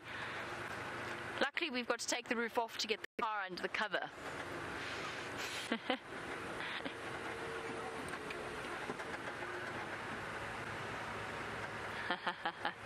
well, William raises a good point. Will I be walking tomorrow or will I be swimming? Only time shall tell. I'm quite, I'm quite an okay swimmer, so it should be all right. I'm sure we could do swimming safaris. Perhaps we'll do swimming down the Mulwati live, swimming live down the Mulwati. Maybe not. I don't know that Graham's going to go for that one. You never know. I'm sure we could sell it to him. On that note, we have come to the end of our sunset safari. So thank you to Gert for his wonderful camera work. Thank you to the lovely ladies in Final Control and to Brent on the other vehicle and Byron on foot. Most importantly, to all of you watching across the globe, I hope you have had a marvelous day and that you are looking forward to the sunrise safari tomorrow morning. But until we see you then, I have a feeling Karula is just going to pop up. We'll see you then. Bye bye, everybody.